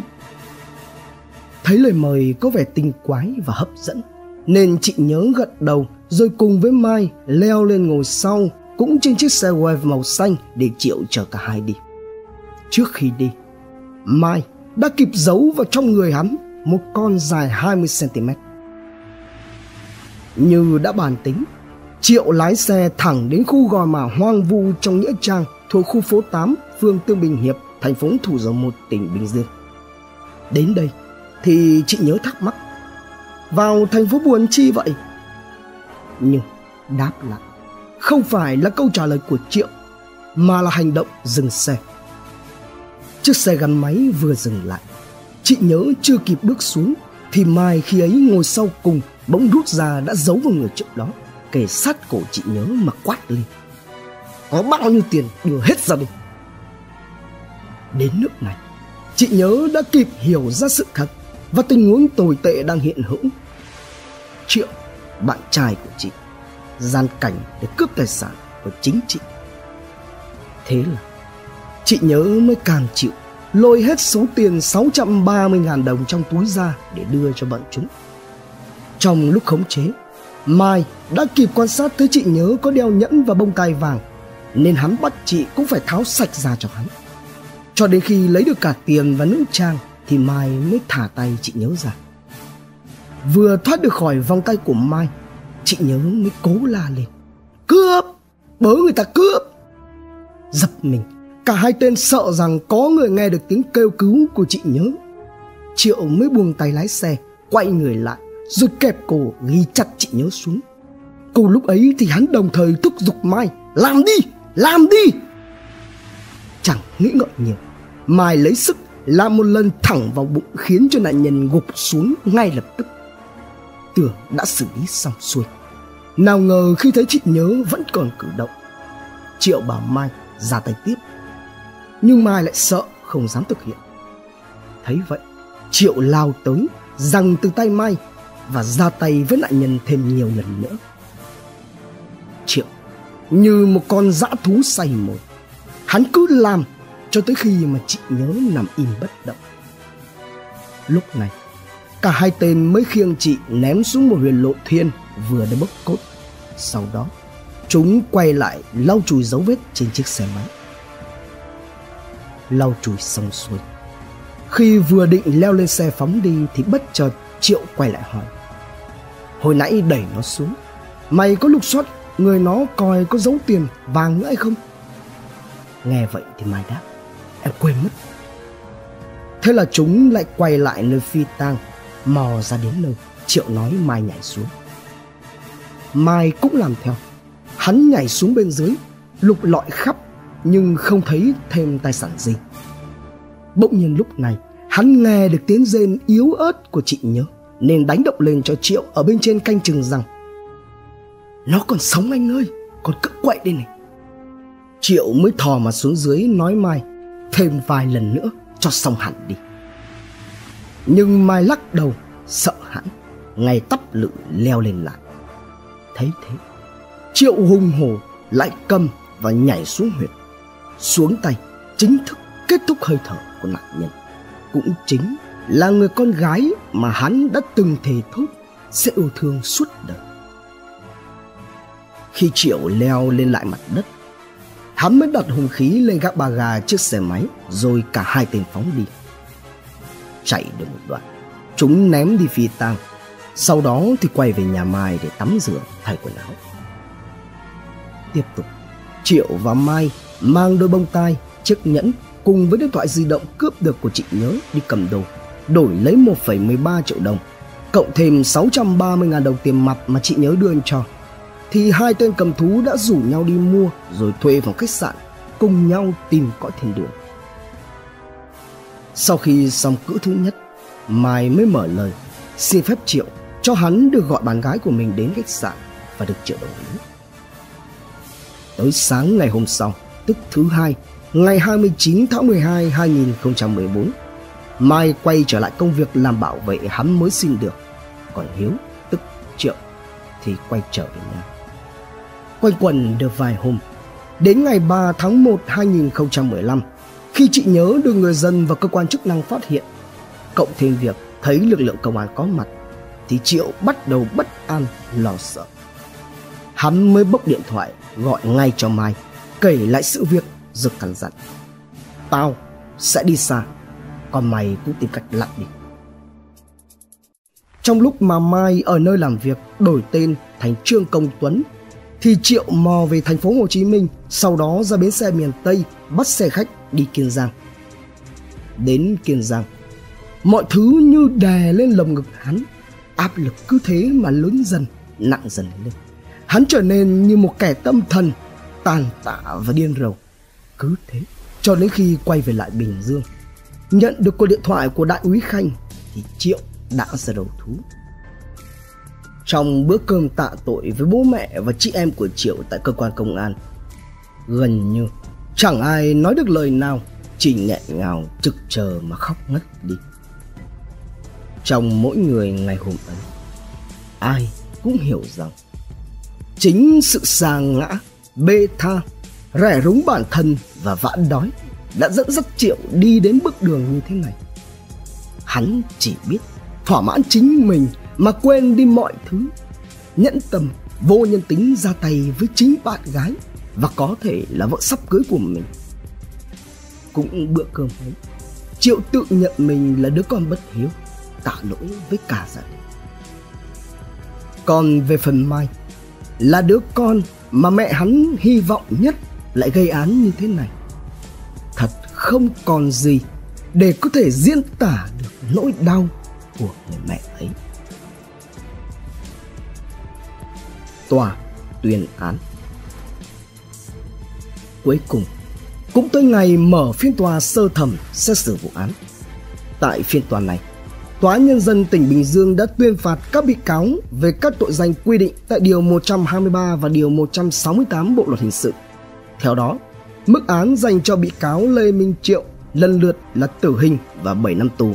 Tổng hợp hình phạt là tử hình. Mức án dành cho bị cáo Võ Hoàng Mai lần lượt là trung thân và 4 năm tù. Tổng hợp hình phạt là tù trung thân. Sau bản án này, gia đình bị hại kháng cáo đề nghị tăng hình phạt còn bị cáo Triệu thì cũng kháng cáo xin giảm nhẹ hình phạt. Ngày 24 tháng 5 2017, Tòa nhân dân cấp cao tại thành phố Hồ Chí Minh mở phiên tòa xét xử phúc thẩm. Tại phiên tòa này, trước hàng loạt các câu hỏi, cả hai bị cáo đều giữ quyền im lặng, không trả lời bất cứ câu hỏi nào của hội đồng xét xử. Sau khi cân nhắc đề nghị của đại diện Viện Kiểm sát giữ quyền công tố tại tòa, cũng như ý kiến của hai luật sư bào chữa cho các bị cáo, hội đồng xét xử quyết định tuyên hoãn phiên tòa để đưa bị cáo Triệu đi giám định tâm thần, đồng thời để cho các luật sư có thời gian tiếp cận tìm hiểu về vụ án nhằm bào chữa cho các bị cáo. Ngày 18 tháng 12 năm 2017, Tòa nhân dân cấp cao tại thành phố Hồ Chí Minh mở phiên tòa phúc thẩm xét xử. Trong phòng xử án, hai bị cáo vẫn giữ khuôn mặt lạnh tanh, thái độ đầm lì. Tuy nhiên, không còn giữ thái độ im lặng như phiên tòa phúc thẩm lần đầu tiên nữa. Bị cáo Triệu bắt đầu khai nhận và ngay sau đó là lời khai nhận của bị cáo Mai. Nghe lời khai của hai bị cáo tại tòa, người thân của bị hại hết sức đau lòng. Người đại diện gia đình người bị hại trình bày trước tòa rằng hành vi của bị cáo Triệu và bị cáo Mai là quá kinh hoàng, dù có bao dung đến mấy cũng không thể nào tha thứ được. Sự ra đi của bị hại đã gây đau khổ cho cha mẹ, người thân. Bây giờ, hai bị cáo phải đền tội bằng bản án nghiêm khắc nhất mới đủ sức răn đe và tương xứng với những gì đã gây ra với bị hại. Về phần bị cáo Triệu và bị cáo Mai, cả hai như lường trước được kết cục của mình nên không tỏ ra quá đỗi sợ hãi. Hai bị cáo thừa nhận tội lỗi và tỏ ra hối hận vì đã gây ra. Nhưng mọi chuyện đã quá muộn. Lời cầu xin được giảm án của bị cáo Triệu, sự hối hận muộn màng với hy vọng có cơ hội được sống đã không được hội đồng xét xử chấp nhận. Hội đồng xét xử cho rằng hành vi của bị cáo Triệu là quá dã man. Bị cáo Triệu không thể cải tạo để có thể trở thành người có ích. Sau khi xem xét, hội đồng xét xử đã tuyên phạt bị cáo Triệu y án tử hình đối với đồng phạm của bị cáo Triệu là bị cáo Mai. Xét thấy mức án trung thân mà tòa sơ thẩm tuyên với bị cáo Mai là đúng người, đúng tội, nên hội đồng xét xử cấp phúc thẩm vẫn giữ nguyên mức án này. Nghe tòa tuyên án, người nhà của các bị cáo gào khóc, là thét, gây náo loạn trốn pháp đình, bất chấp sự có mặt của lực lượng hỗ trợ tư pháp. Trân trọng cảm ơn quý khán thính giả đã theo dõi subscribe, ấn chuông đăng ký để cập nhật những video mới nhất, like, share, chia sẻ tới nhiều người hơn. Comment những suy nghĩ, ý kiến, bình luận của bạn hay những gợi ý, đóng góp để chúng tôi được hoàn thiện hơn. Độc Thám TV, hai ngày một số vào lúc 21 giờ. Nguồn tham khảo và tổng hợp: Công an thành phố Hồ Chí Minh, Công an nhân dân online, Công lý và xã hội, Dân trí, Tuổi trẻ, Người lao động cùng nhiều nguồn khác từ internet. Độc Thám TV Một vụ án giết người đặc biệt nghiêm trọng xảy ra đúng vào ngày lễ tình nhân. Một sinh viên năm cuối sắp trở thành tân cử nhân, nhưng cuộc đời đã rẽ sang một hướng khác. Một câu chuyện về quan hệ tình cảm tưởng chừng đã cũ nhưng vẫn luôn nguyên vẹn tính thời sự. Một tuần sau khi xảy ra vụ trọng án, hung thủ đã bị tóm gọn và khởi tố hình sự. Một chiến công lớn thể hiện sự quyết tâm, sáng tạo và phối hợp hiệu quả giữa các lực lượng công an Hà Nội. Hãy cùng Độc Thám TV đi sâu vào tìm hiểu vụ án này. Rạng sáng kinh hoàng 2 giờ 25 phút sáng ngày 14 tháng 2 năm 2009 một nhân viên bảo vệ của khu phục vụ ngoại giao đoàn Vạn Phúc, phố Kim Mã, quận Ba Đình, thành phố Hà Nội đang làm nhiệm vụ tại cổng số 298 phố Kim Mã, thì phát hiện một chiếc xe ô tô Toyota Lexus màu đen đỗ xịch trước cổng. Người lái xe thò tay qua cửa vẫy tỏ ý cần nhờ sự giúp đỡ. Người nhân viên bảo vệ khu ngoại giao đoàn Vạn Phúc tiến lại gần người lái xe ô tô thì phát hiện trên cổ và áo của anh ta dính nhiều máu. Thấy người lái xe không nói được gì nên nhân viên bảo vệ khu ngoại giao đoàn này đã chạy vào phòng khám gia đình ở gần đó gọi bác sĩ trực thông báo tình hình. Khi bác sĩ trực phòng khám tới nơi thì phát hiện người lái xe nằm bất động, đầu ngả sang phải. Ngay lập tức, họ đã gọi tới trung tâm cấp cứu 115 thành phố. Khi lực lượng 115 tới nơi thì xác định nạn nhân đã tử vong. Ngay sau khi phát hiện vụ việc, các lực lượng điều tra trọng án, phòng cảnh sát điều tra tội phạm về trật tự xã hội, phòng kỹ thuật hình sự công an thành phố Hà Nội phối hợp với công an và viện kiểm sát nhân dân quận Ba Đình đã phong tỏa, bảo vệ và khám nghiệm hiện trường, thu thập dấu vết, pháp y tử thi, ra soát nhân chứng và tổ chức xác minh làm rõ. Hiện trường Nạn nhân là anh Nguyễn Tiến Chính, sinh năm 1967, nhà ở phố Kim Ngưu, phường Minh Khai, quận Hai Bà Trưng, Hà Nội. Trong chiếc xe ô tô Lexus của nạn nhân, lực lượng công an phát hiện tại ghế lái và ghế phụ dính nhiều vết máu. Ghế lái ở tư thế ngả ra sau. Tay nắm của hai cửa xe trước đều dính máu. Bậc lên xuống của xe cũng dính nhiều vết máu. Cách chiếc ô tô khoảng 50 mét có nhiều vết máu dưới lòng đường. Phía bên phải đuôi xe dính nhiều máu dạng tia nhỏ. Phần nhựa đầu xe phía bên trái bị vỡ. Giấy tờ tùy thân cùng với tài sản của nạn nhân còn nguyên vẹn không phát hiện thấy có dấu hiệu bị lục soát. Kết quả pháp y tử thi xác định nạn nhân Nguyễn Tiến Chính bị một vết cứa tại vùng cổ phía bên trái, chiều hướng từ trái qua phải, từ trước ra sau. Kích thước 15,9 cm x 3,5 cm làm đứt động mạch cảnh và khí quản. Nguyên nhân dẫn đến tử vong của nạn nhân do bị mất máu cấp. Thời gian hung thủ gây án đến khi nạn nhân tử vong trong khoảng chừng 5 đến 10 phút. Căn cứ vào những tài liệu dấu vết thu được tại hiện trường và những kết quả khám nghiệm chiếc ô tô, pháp y tử thi, lực lượng công an đưa ra nhận định nạn nhân đã bị diệt hại. Tuy nhiên, động cơ mục đích gây án không phải để cướp tài sản vì toàn bộ đồ cá nhân, tài sản của nạn nhân để trong người và trên xe ô tô vẫn còn nguyên, không có dấu vết lục soát. Sau khi gây án, hung thủ không để lại tại hiện trường bất cứ một dấu vết gì. Do vậy, đã gây ra không ít khó khăn cho lực lượng phá án. Bên cạnh đó, trong quá trình khám nghiệm kỹ hiện trường chiếc ô tô Lexus và nạn nhân nằm chết, cơ quan điều tra phát hiện đây không phải là nơi xảy ra vụ án. Điều này thể hiện ở chỗ một số nhân chứng đã thấy nạn nhân cố gắng điều khiển chiếc xe ô tô Lexus đến khu ngoại giao đoàn Vạn Phúc để nhờ sự giúp đỡ rồi mới lịm đi. Một quán ăn đêm tại ngõ 285 đội cấn có nhân chứng kể lại. Khoảng rạng sáng ngày 14 tháng 2, khi hàng ăn chuẩn bị dọn, một người đàn ông đã đánh ô tô vào đưa điện thoại di động ra hiệu nhờ gọi cấp cứu. Do không biết sử dụng, cậu bé giúp việc cầm máy định chạy vào nhờ bà chủ. Có lẽ tưởng cậu bé lấy đi chiếc điện thoại nên người đàn ông đó giằng lại rồi leo lên xe phóng về phía đường Vạn Bảo. Căn cứ vào các tình tiết như vậy, lực lượng công an đưa ra giả thuyết có khả năng hiện trường ban đầu của vụ án gần với nơi nạn nhân nằm chết. Cuộc tìm kiếm hiện trường chính của vụ án đã được phòng cảnh sát điều tra tội phạm về trật tự xã hội phối hợp với phòng kỹ thuật hình sự và công an quận Ba Đình tổ chức thực hiện một cách quy mô và cụ thể. Hơn 100 lượt cán bộ chiến sĩ của ba phường Kim Mã, Liễu Giai và Ngọc Hà, nơi có địa bàn giáp ranh với khu vực phát hiện nạn nhân chết đã được công an quận Ba Đình huy động, phối hợp với các lực lượng nghiệp vụ công an thành phố Hà Nội ra soát từng ngõ phố, gõ cửa từng hộ dân nhằm tìm kiếm thông tin có liên quan đến vụ án mạng. Sau 3 ngày tích cực thực hiện các biện pháp điều tra, đến ngày 17 tháng 2 năm 2009, lực lượng công an đã tìm được hai nhân chứng ở ngõ 279, phố Đội Cấn, phường Ngọc Hà, Ba Đình, khẳng định rằng rạng sáng ngày 14 tháng 2 có một chiếc xe ô tô Lexus đỗ ở trong ngõ khoảng gần một tiếng đồng hồ. Sau đó, một cô gái mặc áo ngắn, quần jean, tóc xoăn bật cửa sau ô tô chạy nhanh ra đầu ngõ 279 đội cấn, vẫy taxi đi đâu không rõ. Vài phút sau, chiếc ô tô Lexus do một người đàn ông trung niên điều khiển loạn choạng phóng ra đường.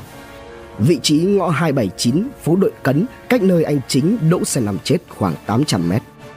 Lực lượng công an đã xác minh và có kết quả chiếc xe ô tô Lexus đỗ trong ngõ 279 phố đội cấn là xe của nạn nhân Nguyễn Tiến Chính. Giải mã Lần theo những mối quan hệ của nạn nhân, lực lượng công an nắm được anh Chính hiện là giám đốc một doanh nghiệp lớn ở tỉnh Cao Bằng và có nhiều mối quan hệ xã hội phức tạp. Anh Chính có nhà ở phố Cơm Ngưu, quận Hai Bà Trưng nhưng vẫn thường xuyên lên Cao Bằng để làm ăn. Do nạn nhân là một nhà doanh nghiệp lại bị cắt cổ chết trong chiếc xe ô tô Lexus của mình và đối tượng gây án không nhằm vào mục đích cướp tài sản nên đã gây xôn xao trong dư luận nhân dân. Thượng tá Nguyễn Đức Trung, trưởng phòng cảnh sát điều tra tội phạm về trật tự xã hội, công an thành phố Hà Nội khi đó cho biết rằng đây là một trong những áp lực đè nặng lên các lực lượng phá án của công an Hà Nội. Ban chuyên án đã cử nhiều lượt trinh sát lên Cao Bằng để xác minh, rà soát các mối quan hệ của bị hại nhằm tìm ra mâu thuẫn dẫn đến động cơ giết anh chính. Ngoài ra, Công an quận Ba Đình và Phòng Cảnh sát điều tra tội phạm về trật tự xã hội đã thực hiện nhiều biện pháp sàng lọc, thành loại các đối tượng có dấu hiệu gây án để truy tìm manh mối hung thủ. Cảnh sát nhận định, vụ án có 3 khả năng xảy ra do mâu thuẫn va chạm giao thông, trong quan hệ tình cảm và trong làm ăn. Hung thủ gây án có khả năng là người quen với nạn nhân. Vào đêm ngày 13 tháng 2, trước khi ra khỏi nhà, nạn nhân nhận được một cuộc điện thoại. Một cán bộ điều tra cho biết, rất khó quay vùng hung thủ vì căn cứ vào các dấu vết để lại tại hiện trường thì rất khó xác định được hung thủ là nam hay là nữ và ở tầm tuổi nào. Trong tình huống này, nếu như muốn làm hại người lái xe khi họ đang điều khiển xe, dù già hay là trẻ, yếu hay khỏe, nam hay là nữ thì cũng có thể thực hiện được động tác này. Sau khi xác định được danh tính nạn nhân, cơ quan điều tra lại càng đau đầu hơn bởi anh chính được xác định là một con nghiện ma túy. Bởi vậy danh sách những đối tượng, địa điểm phải xác minh tự nhiên giải ra hàng vài trang giấy. Theo thông tin mà cơ quan điều tra có được thì trong quá trình làm ăn ở Cao Bằng đã không ít doanh nghiệp nợ tiền của anh chính và xung quanh anh ta có hàng tá các em chân giả đến nách. Do đó, giả thiết một vụ đánh ghen hay là giết người để xu nợ cũng không phải là không thể xảy ra. Nạn nhân chính sống trong ngôi nhà 5 tầng ở mặt phố Cừm Ngưu. Bà Nguyễn Thị Vân, tổ trưởng nơi anh chính sinh sống cho biết, gia đình chuyển từ Cao Bằng về đây sống được khoảng 7 năm. Bà Vân nói, mặc dù là có điều kiện về kinh tế, nhưng anh chính sống hòa đồng với mọi người trong khu phố. Cũng theo bà tổ trưởng, nạn nhân từng tâm sự với bà là có một cửa hàng vật liệu xây dựng lớn ở thị xã Cao Bằng. Những cố gắng của lực lượng công an Hà Nội cuối cùng đã thu được kết quả. Sau khi thực hiện nhiều biện pháp điều tra, các chiến sĩ công an phát hiện cách đây hơn 2 năm, anh chính có qua lại quan hệ tình cảm với một nữ sinh viên trường Đại học Sư phạm 1 là Vũ Thị Kim Anh, hiện 22 tuổi, trú quán tại phường Hợp Giang, thị xã Cao Bằng. Vũ Thị Kim Anh đang học năm thứ tư khoa hóa trường Đại học Sư phạm 1, hiện ở nhà D7 tập thể Vĩnh Hồ, thành phố Hà Nội. Nữ sinh này đã từng đạt giải Á khoa trong cuộc thi nữ sinh thanh lịch của khoa hóa học. Theo ông Đặng Xuân Thư, trưởng khoa hóa học Đại học Sư phạm Hà Nội 1, Kim Anh có học lực trung bình, nổi trội ở các môn xã hội và ngoại ngữ. Những năm theo học ở trường, cô tích cực tham gia các hoạt động phong trào do khoa và trường phát động. Xác minh khoảng thời gian sử dụng của Vũ Thị Kim Anh trong đêm ngày 13, dạng sáng ngày 14 tháng 2. Lực lượng công an nắm được rằng cô ta không có mặt tại nơi cư trú. Điều đáng chú ý, Vũ Thị Kim Anh có mái tóc xoăn và ngoại hình trùng khớp với nhận dạng cô gái đã rời khỏi ô tô của anh chính tại ngõ 279 phố Đội Cấn theo các nhân chứng vào rạng sáng ngày thứ Bảy 14 tháng 2. Tuy nhiên, điều lạ lùng là những ngày sau khi xảy ra vụ án, Vũ Thị Kim Anh vẫn sinh hoạt một cách bình thường và không có biểu lộ bất cứ một trạng thái bị kích động tâm lý nào. Lời sám hối muộn màng Khoảng 22 giờ ngày 18 tháng 2 năm 2009, trong quá trình trinh sát các lực lượng phối hợp phá án đã phát hiện ra Vũ Thị Kim Anh đến khu vực phố Nguyễn Huy Tưởng, quận Thanh Xuân để thăm bạn thì đã tiến hành mời Vũ Thị Kim Anh về trụ sở để đấu tranh. Ban đầu, đối tượng tỏ ra lạnh lùng khi được hỏi về mối quan hệ với người bị hại và không hé răng khai lấy nửa lời. Ngay sau khi con gái bị bắt, mẹ của Kim Anh từ Cao Bằng đã xuống Hà Nội để được gặp con gái. Cô gái khóc hòa qua cặp kính khi nhìn thấy mẹ mình. Nén giọt nước mắt vào trong. Bà động viên rằng mẹ và bố luôn yêu thương con. Dù con đã làm sai điều gì đi nữa, mẹ không bao giờ bỏ rơi. Nhớ thành khẩn khai báo, pháp luật sẽ khoan hồng với con. Giây phút gặp gỡ gia đình của Kim Anh bỗng dưng chìm trong im lặng. Bố mẹ Kim Anh thầm hiểu rằng cuộc đời của con gái họ đang rẽ sang một hướng khác. Tháo nhẫn, vòng đeo tay đưa cho mẹ. Kim Anh oà khóc khi mọi người trong gia đình rời khỏi phòng. Cùng với những lời động viên, thuyết phục và cho biết rằng pháp luật luôn rộng lượng với những người lầm lỗi hướng thiện của các cán bộ chiến sĩ công an, Kim Anh đã nức nở và hứa sẽ thành khẩn khai báo để nhận được sự khoan hồng của pháp luật. Lớn lên trong một gia đình gia giáo, bố là cán bộ nhà nước đã nghỉ hưu, còn mẹ đang làm giáo viên. Sau khi tốt nghiệp trung học phổ thông tại thị xã Cao Bằng, Vũ Thị Kim Anh được gia đình mua cho một căn hộ ở tập thể Vĩnh Hồ, Hà Nội để theo học Đại học Sư phạm. Kim Anh từng học 2 năm trung học phổ thông ở Hà Nội, sau đó lại chuyển về Cao Bằng. Cô học khá và từng đoạt nhất giải tin học không chuyên và giải nhì hóa học của tỉnh. Kim Anh từng thi vào một trường đại học khác nhưng do không đủ điểm nên đã chuyển sang nguyện vọng 2 hệ cử nhân hóa học của trường Đại học Sư phạm Hà Nội 1. Cô gái này còn đạt được 26 điểm trong kỳ thi đại học. Với gương mặt bầu bĩnh dễ thương, Vũ Thị Kim Anh được nhiều người đàn ông vây quanh mình. Tháng 4 năm 2006, Vũ Thị Kim Anh có quen với anh Nguyễn Tiến Chính thông qua bạn bè giới thiệu và hai người có quan hệ tình cảm mặc dù Kim Anh biết rằng anh Chính đã có gia đình.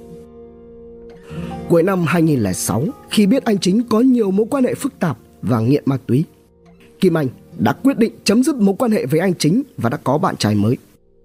Kim Anh đã thay đổi số điện thoại để thể hiện quyết tâm không dính líu gì đến anh Chính nữa. Bẵng đi một thời gian, đến gần Tết Nguyên đán Kỷ Sửu, Kim Anh bất ngờ nhận được điện thoại của anh Chính đề nghị nối lại quan hệ, nhưng Kim Anh đã cự tuyệt. Đáp trả lại hành động này, anh Chính đã lên cao bằng rêu rao rằng Kim Anh đã cặp bồ với mình. Trong một bữa tiệc mừng đám cưới bạn gái của Kim Anh, anh Chính còn trắng trợn xúc phạm Kim Anh bằng cách nói với mọi người rằng Kim Anh là cô gái không ra gì và đang cặp bồ với mình. Quá xấu hổ, nhưng không biết phải làm điều gì. Kim Anh không biết thanh minh với ai mà đành ngậm đắng nuốt cay. Sau Tết kỳ sử, khi xuống Hà Nội để tiếp tục theo học đại học, thì Kim Anh lại nhận được điện thoại của anh Chính đòi nối lại quan hệ tình cảm như trước. Tối ngày 12 tháng 2 năm 2009, anh Chính điện thoại yêu cầu Kim Anh phải đi chơi với mình. Vào tối ngày hôm sau, anh Chính thấy Kim Anh không trả lời yêu cầu của mình nên đã đe dọa sẽ nói ra mọi chuyện quan hệ giữa mình và Kim Anh cho người yêu của cô biết. Sợ mọi người biết tới mối quan hệ giữa mình và anh Chính, Kim Anh đã nhận lời. Vào đêm ngày 13 tháng 2, sau khi đi ăn tối cùng với nhau, anh Chính đã điều khiển chiếc xe ô tô Lexus của mình có chở theo Kim Anh đi lòng vòng trên phố.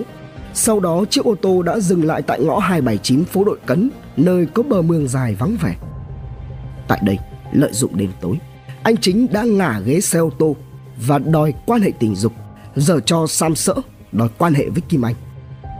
Trước thái độ của anh Chính, Kim Anh nói rõ quan điểm của mình là chấm dứt quan hệ với anh Chính và xuống ghế sau ô tô ngồi.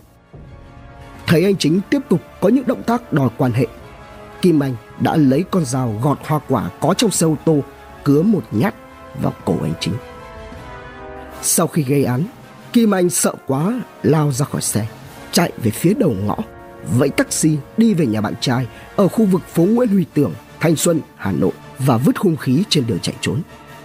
Sau đó, Kim Anh đi thuê nhà trọ ngủ qua đêm và hôm sau thì trở về trạng thái sinh hoạt bình thường. Trong quá trình bị cơ quan điều tra thẩm vấn, Vũ Thị Kim Anh đã khóc rất nhiều và tỏ ra ăn năn với việc mình đã gây ra. Đối tượng có mong muốn được cơ quan điều tra cho gặp gia đình và người thân để xin lỗi họ. Những giọt nước mắt sám hối của Kim Anh giờ đây đã quá muộn. Chỉ vì phút giây nồng nổi, Vũ Thị Kim Anh đã đánh mất đi tất cả và phải chờ phán quyết nghiêm khắc của pháp luật. Khởi một tuần sau vụ án mạng trên sài Lexus xảy ra, ngày 20 tháng 2, Công an Hà Nội đã khởi tố bị can Vũ Thị Kim Anh về hành vi giết người. Bộ luật hình sự quy định người bị kết án với tội danh giết người theo điều 93 có thể bị tuyên án từ 7 năm tù cho đến tử hình tùy theo mức độ hành vi phạm tội. Ngoài ra, người phạm tội còn có thể bị cấm đảm nhiệm chức vụ, cấm hành nghề hoặc làm công việc nhất định từ 1 năm đến 5 năm, phạt quản chế hoặc cấm tự do cư trú từ 1 năm đến 5 năm. Hiện trường vụ sát hại tại ngõ 279 phố Đội Cấn đã được tái dựng lại. Cũng trong ngày 20 tháng 2, mặc quần bò, áo phông kẻ, Kim Anh bước tới ô tô Lexus diễn lại vụ án mạng một tuần trước đó. Về hung khí gây án, sau gần nửa tháng xảy ra vụ án mạng, Công an Hà Nội vẫn tiếp tục truy tìm hung khí và tài xế taxi đã đưa Kim Anh rời khỏi hiện trường tại phố Đội Cấn để làm rõ các tình tiết vụ án.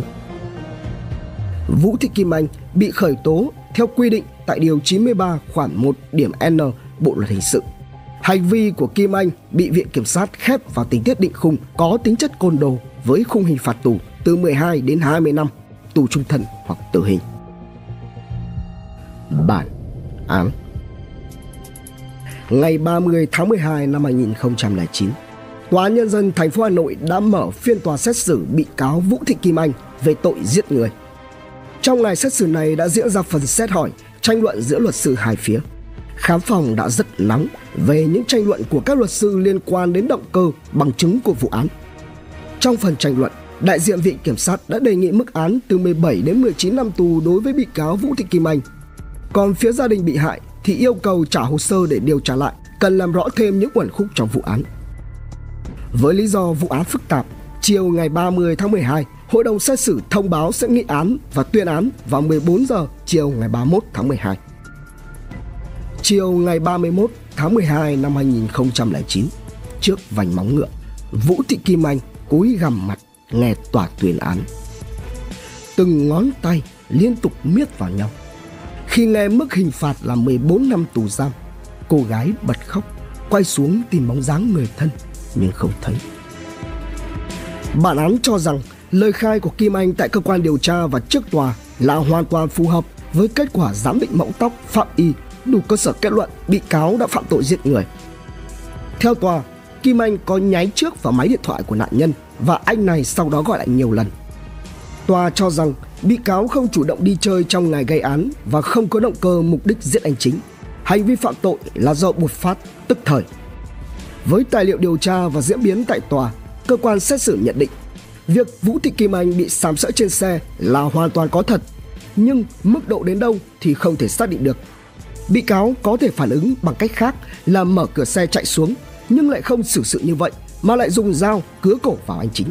Hành vi này đã thể hiện thái độ cuồng đồ. Bản án cũng nêu hành vi của bị cáo rất nguy hiểm, gây ra nỗi đau cho người thân và gây mất trật tự trị an xã hội.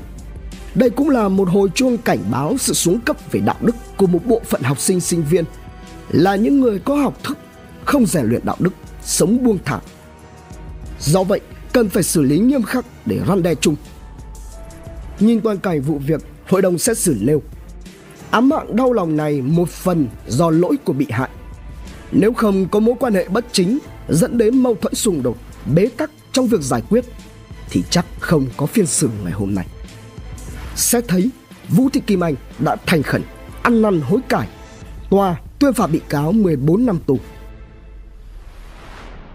Đặc xá Một thời gian sau khi bản án có hiệu lực, Vũ Thị Kim Anh được chuyển từ trại giam số 1 Hà Nội về trại giam Phú Sơn 4 Thái Nguyên vào tháng 5 năm 2010. Những ngày thụ án ở Thái Nguyên, Kim Anh được nhiều người thân và bạn bè đến thăm, nhưng trong số này không có người mà cô định kết hôn trước khi bị bắt.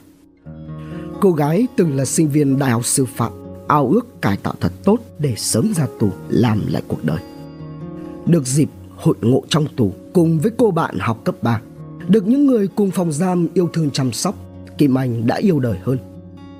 Trong lúc ngồi làm việc, cô còn hát và rôm rả vui đùa với các bạn. Quản giáo cho biết, Vũ Thị Kim Anh chấp hành tốt quy chế của trại giam. Từng làm cán bộ đoàn, có năng khiếu trong các hoạt động văn nghệ, vì vậy khi được chuyển đến trại giam Phú Sơn, Kim Anh được bố trí vào đội văn nghệ. Theo một số phạm nhân thì Kim Anh có tài trang điểm. Qua hộp phấn, cây son, các bạn tù được cô hóa trang thành những giai nhân nổi bật trên ánh đèn sân khấu. Trong cuộc thị viết, sự hối hận và niềm tin hướng thiện do Tổng cục Thi hành án hình sự và hỗ trợ tư pháp Bộ Công an phát động năm 2011. Vũ Thị Kim Anh cũng tham gia. Kim Anh viết Giờ đây, khi đã hiểu được giá trị của lao động, giá trị của cuộc sống và chứng kiến những thành công mà bạn bè đồng trang lứa đã gặt hái được, tôi thấy thật đáng xấu hổ biết bao. Nhưng cũng chính vì thế, trong tôi lại nung nấu một ý chí và quyết tâm hơn bao giờ hết.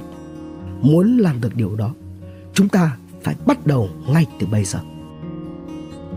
Nhận sự quan tâm, giúp đỡ của cán bộ quản giáo và ban giám thị, tôi luôn cố gắng hết sức để không phụ lòng tim mong. Tôi là một người gây ra tội lỗi. Song được sự cảm hóa của các cán bộ nơi đây, tôi đã biết hướng mục đích sống của mình tới những điều tốt đẹp nhất mong muốn được trở lại thành con người lương thiện có ích cho xã hội qua đi những ngày mưa ta mới biết thêm yêu những ngày nắng cuộc sống nào cũng vậy. Khi trải qua những mất mát mới giúp ta trân trọng những gì mình đang có hơn.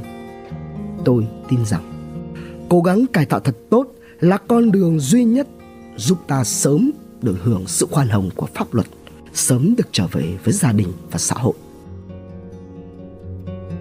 Sau thời gian chấp hành án hơn 6 năm trong mức phạt 14 năm tù, vào sáng ngày 31 tháng 8 năm 2015, trong lễ công bố quyết định đặc xá năm 2015 của trại giam Phú Sơn 4 với hơn 400 phạm nhân được đặc xá. Vũ Thị Kim Anh cũng không giấu nổi niềm vui mừng khôn xiết khi biết mình được nhận quyết định đặc xá được trao tận tay bởi Thứ trưởng Lê Quý Vương. Thay mặt các phạm nhân được đặc xá, Kim Anh cảm ơn các cán bộ trại giam Phú Sơn 4 đã giáo dục cô và các phạm nhân khác trở thành người có ích cho xã hội.